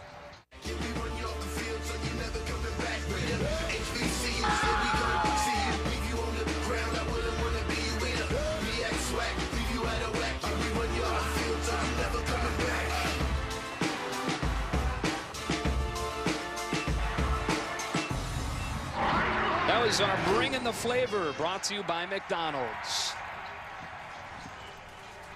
There are a lot of people wearing burgundy smiling in that bringing the flavor. Yeah, it's been a good day for A&M. 31-7, some of Jay Walker's fan club. And A&M back to work with play action on first down. Mason throws the post to DeJarnette. All the way to the 36 on a 35-yard pickup. I mean, good job here. Hard play fake. This is only a one-man route. DeJarnette's the only guy really going out. Number four was getting out the route there. That was uh, Monterius Smith, but good job. Hard sell, max protection, make everybody think you're running, and go up over the top. Eighth play of more than 20 yards for this Alabama A&M team. When you think about A&M, you think about grinding the ball, don't you? Yes, but right now, when, when, it's all working, they're doing what the defense is giving them. They're expecting Lacey, then they're hitting them over the top, so they're trying to basically set up Kadarius Lacey for, for big run opportunities. That's his 14th carry, 143 yards. And they're actually using the game plan that Grambling said they wanted to do. Open it up with the big throws, and then the running lanes will get there. Well, Alabama A&M, Grambling thought they were going to come out and force feed the run. They came out throwing the football, and then the running lane has been there as well. Now in his last three games against Grambling, 397 yards on the ground and five touchdowns when you include the two games last season. Out of the eye on second down, tried to dance outside but couldn't. David Smith there for the stop, converted linebacker to make it third and long. And one thing I'm impressed with Lacey, he's shown me the ability to run the football from the shotgun formation. You know, that last play, they lined up a fullback back there, what you think you would get with a big runner, smash mouth football, following the lead and ISO. But whenever they put Mason in shotgun and they offset Lacey to the weak side of the offensive formation, they've had plenty of success, and he's quick enough to get to the edge. They twist up front and get to Mason on third down. And Lacey can't stay on his feet on the screen play. Wade Julian made the open field tackle. Fourth down from the 35. And here comes the punt team. And now the punt team pushed back to the sideline for now. The way they've been going offensively, if you end up punting the ball to the end zone, you gain you know, yeah. 17 yards. Why not give Mason a chance to pick up nine for you?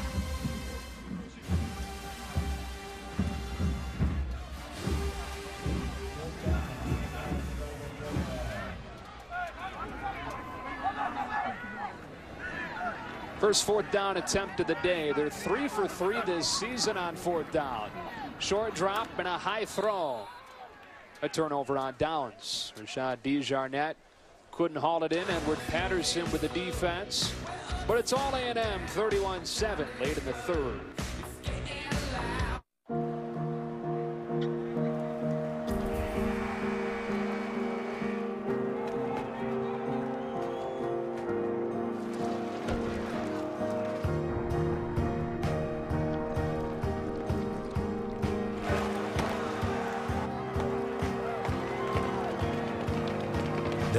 400,000 NCAA student athletes, and just about all of us will be going pro in something other than sports. The crossover. We have the technology to rebuild it. SkyActiv technology makes it better than it was before. With the best highway MPG of any SUV, even hybrids. The 2013 Mazda CX-5 will be that crossover. Better, stronger, smarter. We build Mazdas. What do you drive? Hi, Phil Swift here for Flex Seal, the easy way to coat, seal, and stop leaks fast. We listened to your suggestions, so we came out with a new color. Flex Seal Bright. Flex Seal Bright coats and seals while remaining completely flexible. It's actually liquid rubber in a can. Perfect for sealing cracks and quickly repairing decorative items. This light coating holds back water. A lot of water. It's like the Hoover Dam in a can. Don't call a repairman to fix leaks around your home. You can get Flex Seal Bright for just $19.99. But hold everything. We're going to include another can of Flex Seal Bright. Plus, we'll include this Aero Grip Sprayer, absolutely free. You get two large cans of Flex Seal Bright and the Aero Grip Sprayer, all for just $19.99. To order Flex Seal Bright, call 1 800 239 5160 or go to flexsealbright.com. ESPNU College Football Primetime is brought to you by the Volkswagen Passat 2012 Motor Trend Car of the Year. Grambling and Alabama A&M squaring off in a rematch of last season's SWAC championship, and A&M trying to get revenge, trying to make it back-to-back -back seasons with a regular season win over Grambling. What can this do for an A&M team that historically has struggled against Grambling? I think now you, you raise your level of expectation. You know, they've been to the SWAC championship before. They've been there five times. Now, can they capture that Black College National Championship? Finish the season ranked number one team in Black College football. Go for perfection, undefeated season. Long throw for Williams on first down is complete for a first down. To Musa Mahmood. All-time, Grambling has dominated the series. Started back in 1941, 17 and 5 against Alabama A&M, and they had won the last two contests in this stadium. See, right now, the way they're going, see, they wouldn't have any fear if they face Grambling in the SWAC championship. You know, they, they were like, hey, we've taken care of this soundly. This is probably the best Alabama A&M team I've seen in, in the years I've been covering them, watching them. And you can hear from the coaches, the way they have a, a pulse of their personnel. The fans around here think they've got something special. And I really do think it's because Mason is playing fantastic. They've got a good group of young receivers. And, and Lacey, Kadarius Lacey, I mean, having you know, the best running back in the conference really is a plus. And you just put some tools around them, and they got good offensive line play, and the defense is Alabama A&M, always one of the best defenses in the conference. Top 10 in the country coming into tonight.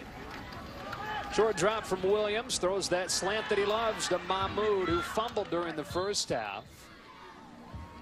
19-yard completion to the 25. One thing he's good at, setting it up, knowing where he's going, middle of the field, wide open, taking advantage of it. You know, just the final point on Alabama A&M. For all the praise we're seeing Alabama A&M talking about how good they are, you know who's not buying one inch of it, one word? Alabama State. I was going to guess that. they could care less. Jeremy Runner with some space on first down, keeps the feet churning through Denzel Cotton near the first down marker, and a flag at the end of the play. A late flag.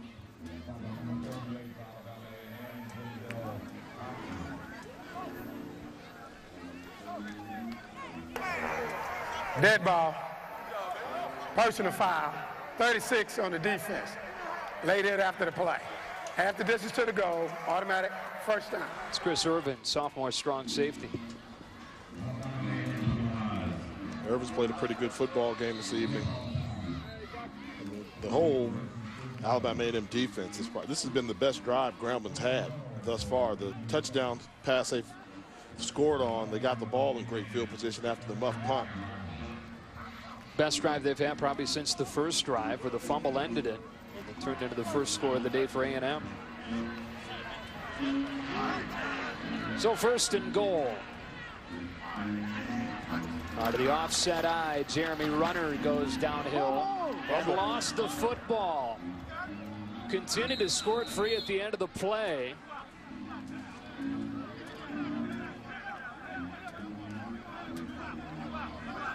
And in three trips to the red zone for Grambling. They might have turned it over that's twice. A, that's an ugly pile right now. There's a lot going on down there. Well, somehow Grambling got back on top of it.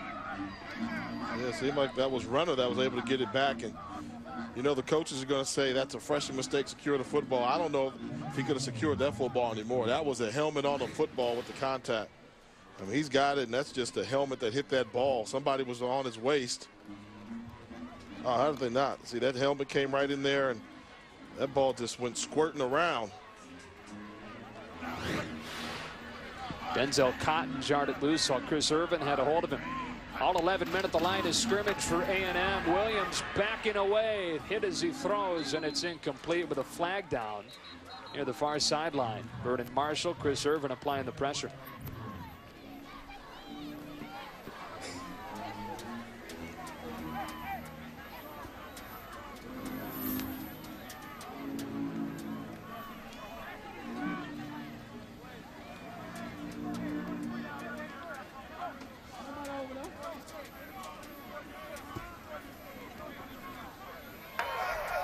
Hold it. Defense, number eight. Half the distance to the goal. Second down. A.J. Clark.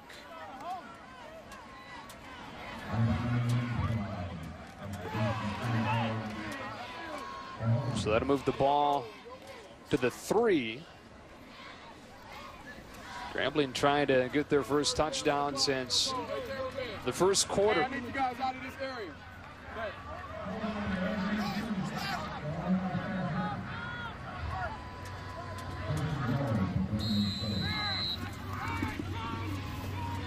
Jeremy Runner stays in. O'Shea Hamilton, the fullback.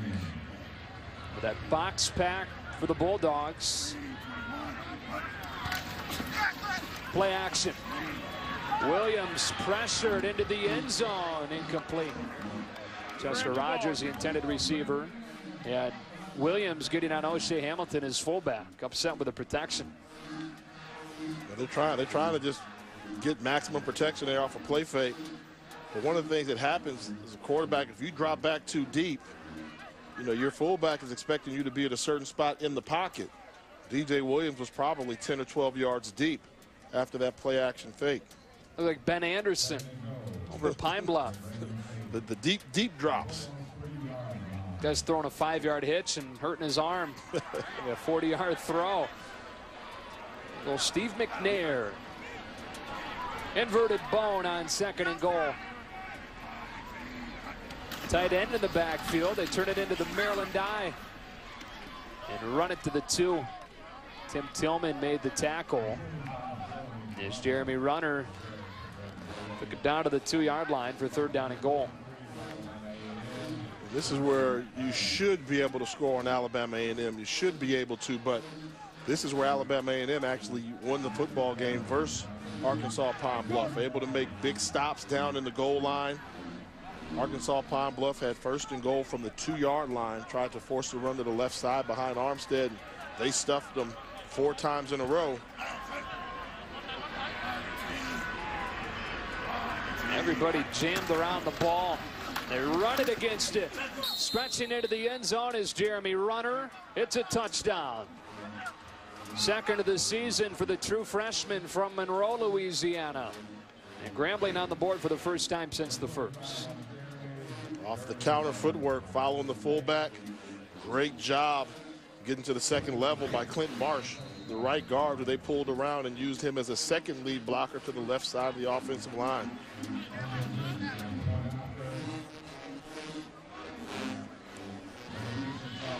Ferris Wabo, who is newer to the team. He's come over from the men's club soccer team. Adds on the extra point. Jay, why don't you give me five with their power rankings? All right, everybody's talking about it, particularly here in this state. There are going to be some changes, though. I will tell you that. There'll be some changes, but Pine Bluff, you can stay for now. You, they got beat today. They can stay for now, and you'll see why. Number four, Florida A&M, nice knowing you. They got beat today. They're going to be gone. So we've got FAMU getting ready to come around here. Number three, Bethune-Cookman, still there. Their, their big loss was the one they had to Tennessee State. You got to explain that one. Number two, playing some of the best football I've seen them play in years, and they're making a case they should be moving on up. But as long as Tennessee State keeps taking care of business, Big Blue, impressive win today over Arkansas Pine Bluff. So I think now, if I if we definitely know Florida A&M's leaving, I could make the case to drop Pine Bluff for losing. Maybe uh -oh. is it time for America's Black College to make it to the top five? Oh boy, I, am just saying they, they beat Savannah State today handedly, scored 58 points on Savannah. They're making that case. Savannah State gave up like 300 points in the first two weeks of the season. I know, and see Howard did the same thing to him. See, I, I made the case back then when Savannah was taking on, you know, those big money checks. I said I would have put 60 points on Savannah. And so, then your school did. Yes.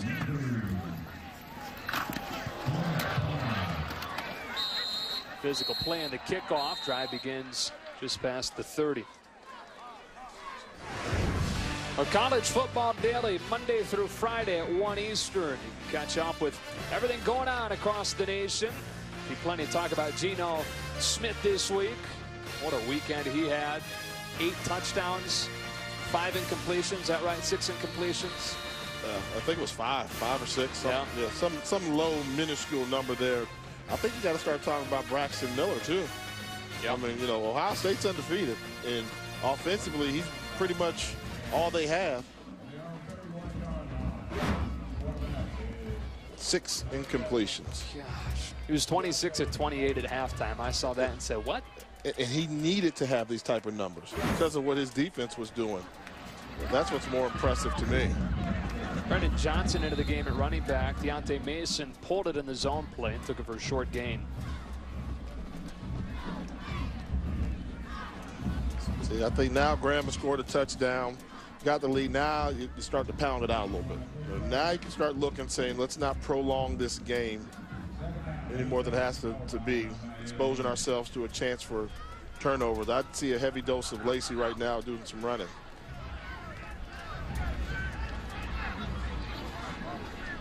Johnson stays in. Mason flicks his wrist. Incomplete looking for Monterius Smith. Would have been a first down. Stops the clock and makes it third and eight.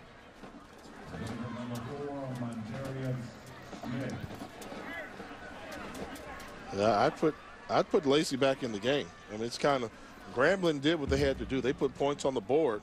You got a 17 point lead with the whole quarter to play. Uh, maybe a little too soon. Had Grambling not scored that last drive, maybe you could think that way, but I'm not having my best football player on the sideline for a whole series. Sitting in that zone was Torrey Smith, and he extends the drive near midfield. People don't know, Jay, or maybe they do, but they better know that wherever you and I go, we seem to get close games, regardless of what it is through three quarters. We call you Overtime Joe Davis. Oh, do we call me that? That's sweet. OT Joe D. OT Joe D. Yeah. We'll run this clock down and finish this third quarter.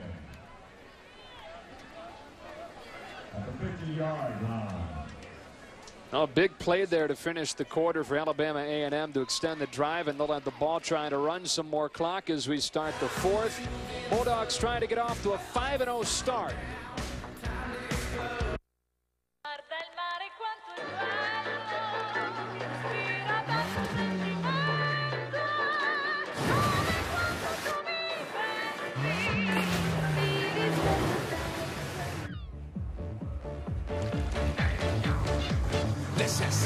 The next wave of Italians has come. on you.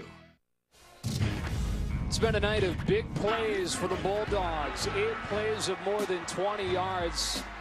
Those four touchdowns along yardage, averaging 34 yards a pop. That was the first play from scrimmage for A&M, went 32 yards. Kadarius Lacey's had a couple of big plays.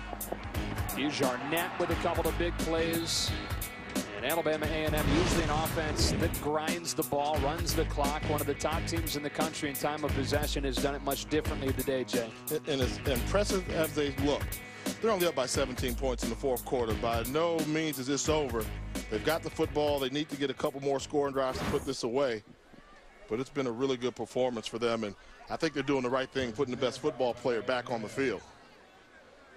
And then Lacey Gets the touch on his first play back in for six across the 45. First team all SWAC a season ago, preseason first team this year, along with Dorrance Roberts, who didn't make the trip for Grambling. It's obviously worth mentioning when you talk about Grambling struggles on offense tonight. 205 total yards for Kadarius Lacey, 147 of them on the ground, and then he's gotten it done in the passing game as well.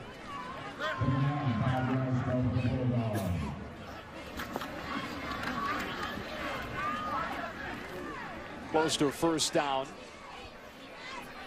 DeAndre Vallet, who's got a fumble recovery today. Looks like they'll mark him just short, so third and about a foot. And this is the type of power running that has NFL scouts uh, taking a look at Kadarius Lacey. There's a scout here tonight from the NFL team looking at the left tackle and the running back. So that's who he's here to see. And you can see why. And right now, I guess this is the good measure they want to see. Third and one, third and less than two. Let's see how hard you can run downhill right now when your team needs it. Mason will sneak it for a first down. And more. Up to the 35. And I should have known better. You know, when you talk to the offensive coordinator yesterday, he said, oh, we get third and one. I promise you we're going to sneak it, Jay. And I forgot all about that. Uh, I, I want to think he told me the stat is they average almost four and a half yards per quarterback sneak. And you see right there, they just picked up four. You get four and a half every play you win. Might as well just run that on first down now and then. Get you ahead of the chains. Grambling loading up to stop the run with A&M trying to run the clock.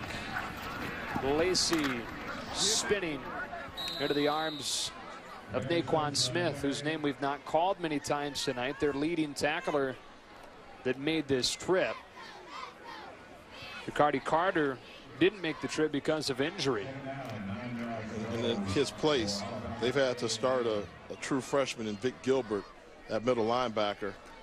Kind of a mismatch when you've got the freshman linebacker taking on best running back in the conference.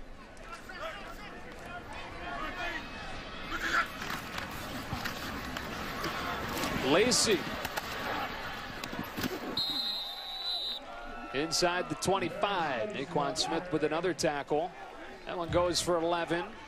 And this is the way Pearl's drawing it up right now. He said we can run on that left side behind Dub. Well, Dub's getting down there to the second level. And they've got it running. This is impressive. I mean, you know, how many times can we use the word impressive talking about Alabama A&M?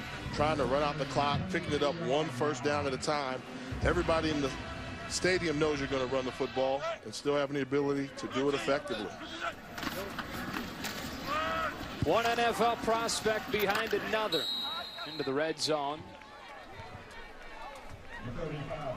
Seems like no matter where the play is called, he's finding a way to cut it back behind Dub. And that's what you do. I mean, you just you just play it smart. You see, you see 67 right there getting up to that second level linebacker. They're going to leave you uncovered. The mark of a good lineman is when you're the uncovered lineman, you go find somebody to hit. Having the ability to get to that second level.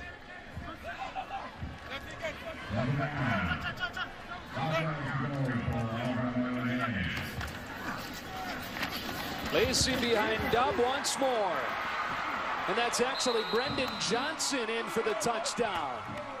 From 19 yards for his first of the season. They called Lacey the hammer, and they said Brendan Johnson is the nail. They put a little speed in there for the counter. Take a look at Dub. Get a body on somebody. Seal the edge. Seal the edge. That's how you slide. A good job of passing it off from the tight end to the tackle. Johnson goes untouched into the end zone. Did I mention the word impressive when talking about Alabama? I think you used it once or twice.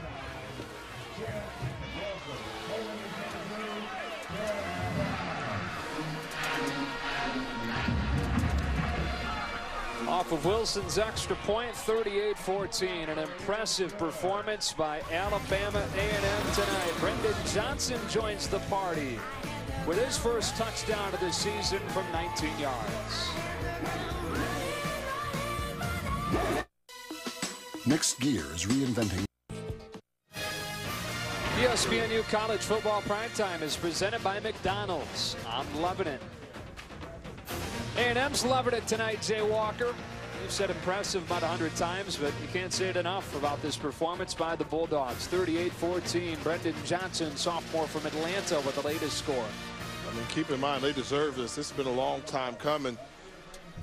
Lost five of the last six games to Grambling. They beat Grambling during the regular season last year, but then got beat by the Tigers in the SWAC championship after holding on to a 15 0 advantage going into halftime. It's a good team. The kid's going to be how focused can they stay? Domino from the 15. Offended at the 32. BCS Countdown is on ESPNU Monday. Our analysts will break down the key victories and defeats that took place over the weekend, discuss their impact on the standings, plus a look ahead to the key matchups for next week. BCS Countdown presented by Discover Card Monday at 6 on ESPNU.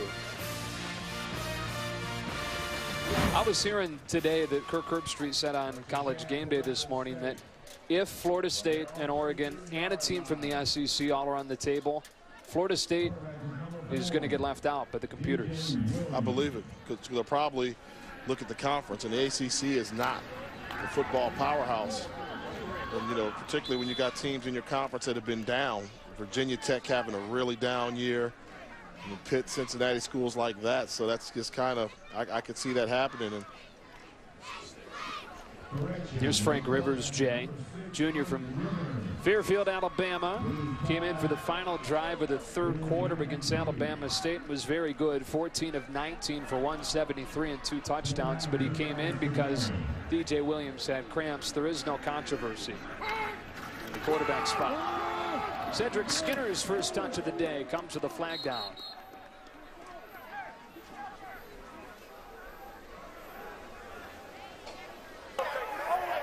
Holding. Offense, number 70. 10-yard penalty, second down. Third holding call on Clint Marsh this evening. He's having difficulty dealing with the quick, undersized defensive line from Alabama A&M. But going, going on to Frank Rivers, when you talk to Coach Williams about his backup quarterback, said he's a perfect backup for this system, what we do. He's a gunslinger. When he comes into the game, he wants to find one or two guys, stick to his read, and make throws to get him there. He's been pretty effective as a gunslinger. 66% passing on the season. He's got two touchdowns and no interceptions. Trying to see if maybe he can get him a spark right now.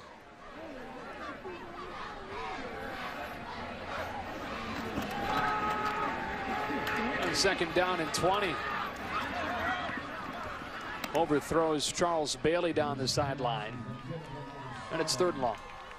I mean, these these defensive backs are playing so physical on these wide receivers. I think they're run plays. they're just up in there. You see them just jamming them five yards off the ball, playing man-to-man -man coverage. I'm thinking it's a run, and the wide receivers are actually running routes trying to get open. It's an experienced defense, but the one spot where they're not real experienced for A&M is the secondary. They've been a pleasant surprise for this team this year.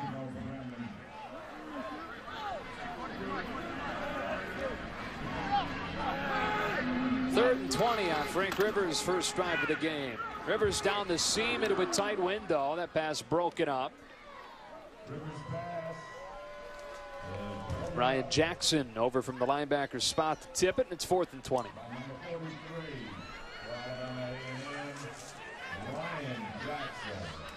Looking forward to getting down to Miami next week, Jay, to see the reigning Sun Belt champs Arkansas State taking on FIU.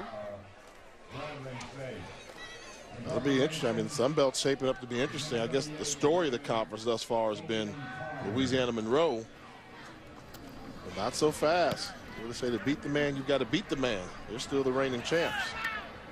You've got Western Kentucky who beat Kentucky. Been an impressive year for the Sun Belt.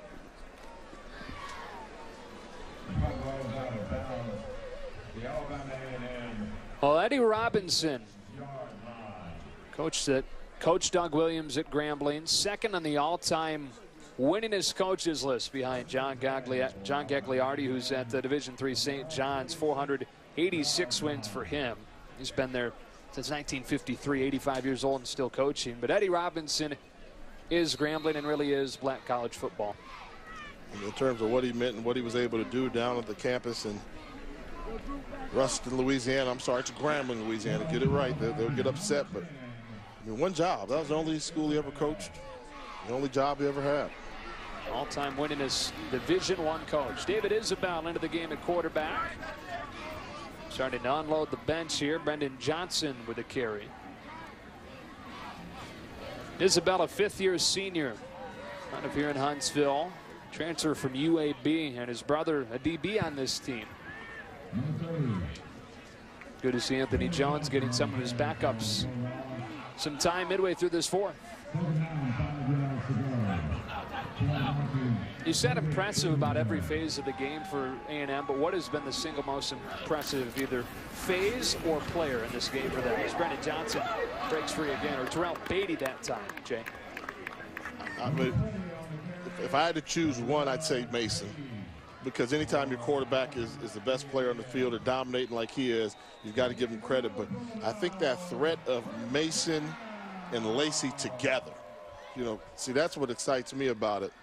I mean, Mason's in complete control, good hard-nosed running. See, that's what I kind of thought you would get at Alabama State this year. I thought you would have that combination between Jenkins and uh, uh, Isaiah. Crowell. Yeah. Crowell. And I thought they could have this type of success they've had, but they've had trouble running the football. Johnson on first down. And this is something that the folks from Alabama A&M, I mean, they're going to remember this. This is going to be a signature win for them. Yes, they got off to a good start, but 10 years from now, they're going to ask and they're going to meet somebody from Grambling. They're going to say, oh, we used to own you guys. But the group of seniors are going to say, well, my senior year, when I left the football field, we were winning 38 to 14. We had really put it on you guys. And the people in Grambling will say, well, that team was 0-3 at the time. Here's Deontay Mason. Senior out of Nashville, making a case to be first team all SWAC. Isabel had that snap go through his hands. Is he making a case to be the SWAC player of the year? They got they got some good ones out there. I mean, I think you know, in terms of throwing the football, he probably seems to be the best we've seen. The young man at Arkansas Pine Bluff is playing very well. To have them having the success they have. Jenkins, if they can win, you know, I said a lot is on the line when they play in Alabama. If Alabama State and Alabama A&M do some showcase, and, sometimes it's been wherever that quarterback is. Talk about Mason being a leader. You see there, he's out for the game, but still checked in mentally and helping out his backup, David Isabel, as much as he can. Leader in every sense of the word, they say about Deontay Mason. He's vocal. He directs traffic with the offense when he's on the field. And like we talked about earlier, spent so much time in the film room developing his mental side of the game to be able to do that. And that's what it is. That's that's that next level. You know, so often you see it when it's your senior campaign and you get more comfortable with the system. You know your coaches. You know what they expect from you. And you realize the coaches aren't trying to critique you to break you down. They're trying to build you up and get the most out of you. Anthony McGee ready to return this one. Chance Wilson. I got that question on my mind about now would you give it to Mason over Lacey for the sometimes like in Heisman voting they can take votes from each other. Well, remember that Lacey first few games of the year didn't do a ton because he was hobbled by the ankle injury. That might give it to Mason. Oh, what a season Deontay Mason is having. Eight touchdown passes over the last three games, and his Bulldogs cruising to a 5-0 record. Cool. I won again. Monopoly at McDonald's is awesome. One in four winners. Hard to beat those odds. I can. I'm moving to San Diego. Why? It's the luckiest city in America. It's got the most sweepstakes winners and the fewest lightning strikes. Doesn't matter where you are. Still one in four. Just the same, I think I prefer San Diego. It's the 20th edition of Monopoly at McDonald's, and one in four wins. With over $300 million in cash and great prizes, it's the most prizes ever. The simple joy of winning. You put Joe Davis on there. Yeah, Joe Davis, Paul Davis. Yeah. High school level. Not sure we count.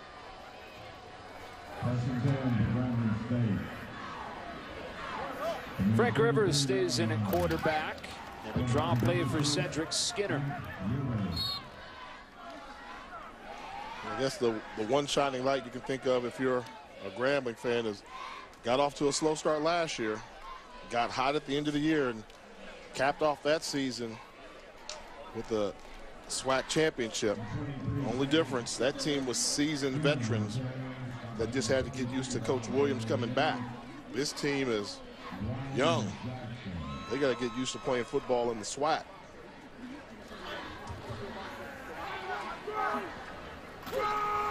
Second and eight, Skinner again.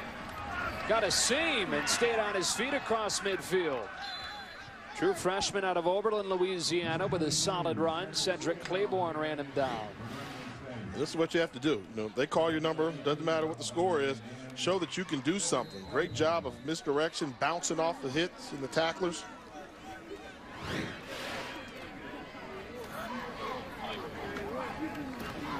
Rivers, perfect throw to Robert Bailey. Crossing the field to the 28. That's a gain of 20. And a little bit of a different pace here for Grambling all of a sudden. Coming out in the gunslinger mode, just trying to throw the football, get some quick scores. Rivers will take off. And get five on first down.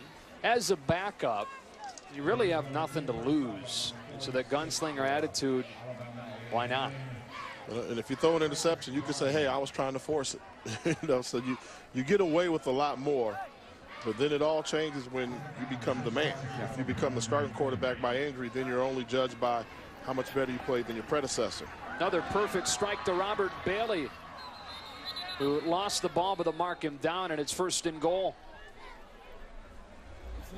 Third catch of the day for the junior from Louisiana. This one goes for 18.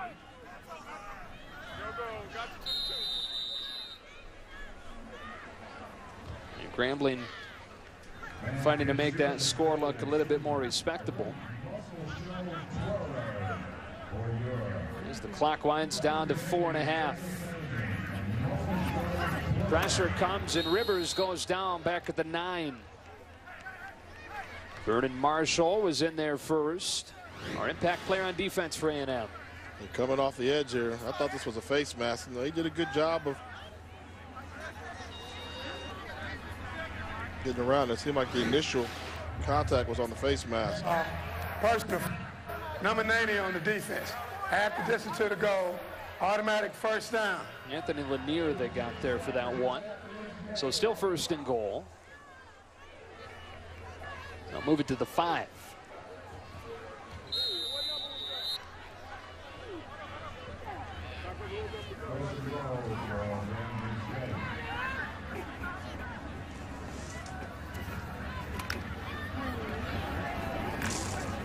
Doug Williams knows a little bit about being a gunslinger as a backup. Started his career as a third stringer.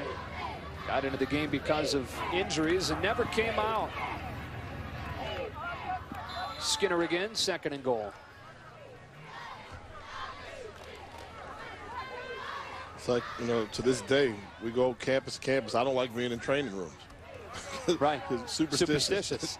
You, know, up, you hang around that training room too often talking to the boys, you'll end up on the training room table.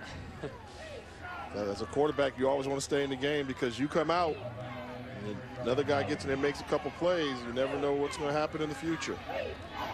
Inverted bone on second down. Skinner hit by a man off of the edge. That was Vernon Marshall again, who's over 10 tackles today. I mean, look how tough he is. Vernon Marshall's 5'10", 185, 190 pounds, playing linebacker. He comes in, he gets his arms on you. He's going to hold on to you. He's not afraid to mix it up. He's speed. That's his 12th total. Not, right. a, not a lot of mass, but he comes with velocity and heart and determination. 5'11", 190. He's got DB size.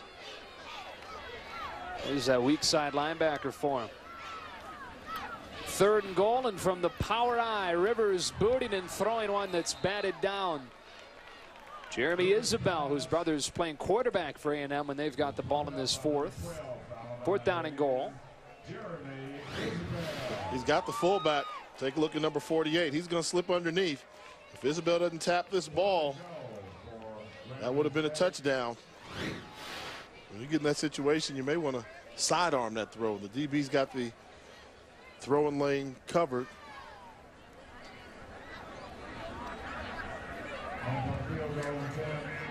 And Ferris Wabo will attempt a field goal here. This from 21 yards for the club soccer player who just joined the team. No good.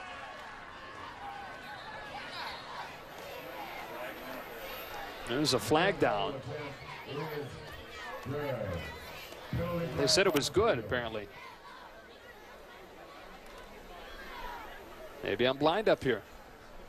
I thought it thought it got in there. No style points. Dead ball. No. Personal foul. 94 on the defense. Unnecessary roughness. 15 yards to be added to the kickoff. Okay. Extra point was good. How about that for Wabo? Like I said, no style points, but, but count it. Well, next Saturday, Jay, 10:30 Eastern on ESPNU. East meets West, and the SWAC when Southern visits Alcorn State. Dray Joseph and the Jags, one of the top passing attacks, suddenly take on the Braves and their new head coach, Jay Hopson. That's a big story that we'll cover plenty next Saturday.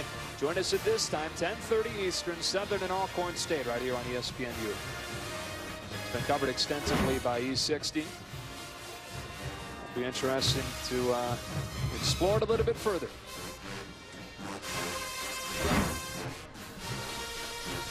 What's your SWAC storyline? SWAC storyline. Well, how about this? Michael Strahan went to Texas Southern. Congratulations. He's now co-host of his own show. That's big time. Former yeah. football player. You love that one. We talk about Thurman leading the FCS and sacks. What a good football player he is. And then Jay Hopson featured profile on ESPN Outside the Lines. Hopson, the first non-African American to be a head coach in the SWAC conference.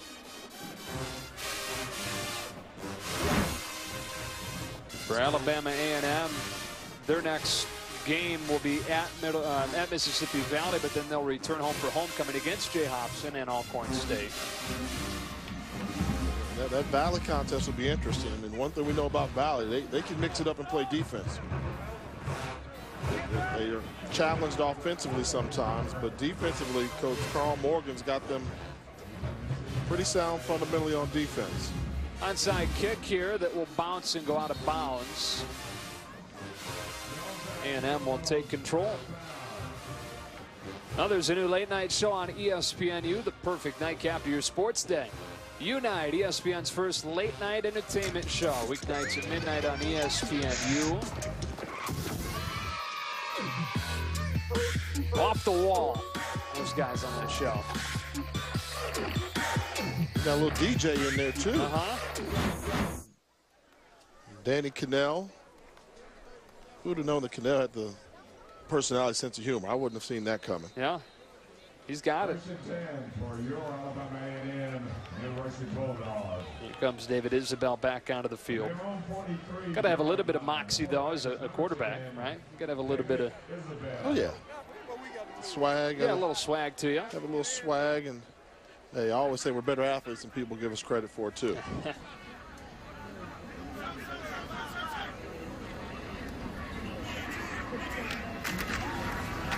Terrell Beatty, senior from Lake Worth, Florida, with his second carry today. Wade Julian has been busy on defense. That's a gain of four. For Grambling, couple of SWAC losses by two by a total of two points coming into this game, but getting handled tonight. They'll have Prairie View at home next week. I, I got to laugh at this one. Watch number 77 coming through there trying to pull. it was like he was going in slow motion. That's Justin Goodrich. Well, we saw, we've been watching Dub get up to the second level all evening long. we saw last week Armstead having the ability to do it. Oh man, Justin, he, he he's not moving like that. No. At 6'1", 310 pounds, not quite as nimble on his feet as the rest of them, but doing a good job nevertheless tonight. Baited to the 47. But again, Grambling looking ahead. Jay home against Prairie View. How do they get on track there? Uh, that's, you got to look right now for winnable games. You know, that's a game right there that could be considered a winnable game for them. Right now, and for Grambling, you know, you hate to say it, they got this loss. Unless they start winning soon, they're going to have a one-game season. And that one game's going to come down to the Bayou Classic versus Southern. And if nothing else goes well for them, at the very least, they want to beat Southern. Is that enough for people to be happy around Grambling, beating Southern? It'll give them a pass. Yeah, that, that'll make the year. You know, if everything's bad, yes. Now, once upon a time, there used to be an unwritten rule that if, if you lost to Southern, well, on your well, on Southern side, because they had Eddie Robinson so many years. So if you were a Southern coach and you got beat by Grambling pretty bad, on your way home, just keep on going. don't even report to work the next day. But, but I think, you know, in, in talking to Grambling folks, it, I see it now. They are really, really young. And I think because they're so young, that will get them a pass. But they've got to put together better performances than this. Sports Center U coming up right after the finish of this one. We'll come back here for our HBCU Lexus post-game report. A&M takes timeout here with 23 seconds.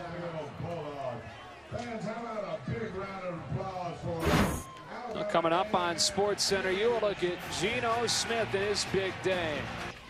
Now it's like, ooh, wee. I get it. Not not woo. Yeah. Ooh ee. Ooh wee. And then, been tough to just put a pulse on that one. I think I heard the game day folks say now at this point in the season, if you're Arkansas, a lot of people playing with I instead of the we concept. Yeah, start looking at how's my draft stock? What do I got to do between now and the draft to get notice? Instead of what does Arkansas need to do to get a few wins? I thought really they were going to win that game or be more competitive than they were. I mean, now Davis broke the big one off earlier. Had Tyler Wilson back. But it was not to be. Big day for him. Kadarius Lacey. Storied career for him. Senior out of Calera, Alabama. First team All SWAC last season. On his way there again this year. And he hopes that his Bulldogs are on the way to maybe a SWAC championship. We know they're on their way up the power rankings from Jay Walker. Uh, I don't know. Not a lot of wiggle you room. Can't, you're right. You can't go much higher. Number two right now. Number two, but I think for them, you know, the bar's been raised. They've been to SWAC championship before. You know, at this point, I'm telling my team we want to go undefeated this season. You know, end up with a 12-0 record that includes a SWAC championship. Rivers trying to sneak it into Robert Bailey.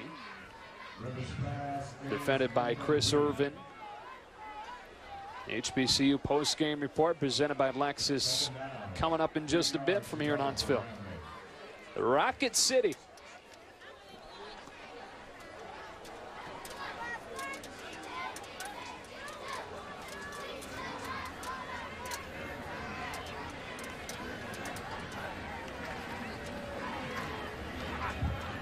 Rivers with a high throw hung his man out to dry there. Luckily for him, no contact. And it's third down inside of 10 seconds. How many losses does it take before people no longer fear the name on those jerseys? Uh, I'd say they probably got about a decade worth of losses. Okay. I mean, you know, Graham was the premier football program for forever, pretty much, and, and they still are. I mean, the biggest name, the biggest draw out there. Robert Bailey's reception will bring this game to a close. And Alabama A&M convincingly 5-0 for the first time since 1966. Grambling still searching for that first win. Once again, the final score 38-17. We'll come back to wrap things up here right after this. So we're Welcome into the HBCU postgame report brought to you by Lexus. The Louis Crews Trophy here in Huntsville. Where the Bulldogs of Alabama A&M get the 5-0 for the first time since 1966 as they romp Grambling 38-17. They do it behind Kadarius Lacey, their senior running back. 165 and a touchdown on the ground, 58 yards to the air with a touchdown as well. We knew he was a power runner, but I think what he showed us today was his versatility, the ability to catch the ball out of the backfield and make guys miss an open field. You see here with a nice little stiff arm, tiptoe, tackler after tackler, bringing him down. Kadarius Lacey showed that he is a great football player. Lacey had that throwback screen that he took in early on in the game. There wasn't much that he didn't do well today. For Grambling, Jeremy Runner with a decent day running the football. And uh, Dorrance Roberts' absence, he didn't make the trip because of an injury. 54 yards and a score for him. You've got Lacey, you've got Mason, you've got a 5-0 A&M team here in Huntsville. For Jay Walker and for the rest of our crew, my name's Joe Davis. This has been the post-game report brought to you by Lexus. Now back to Sports Center U. This is Sports.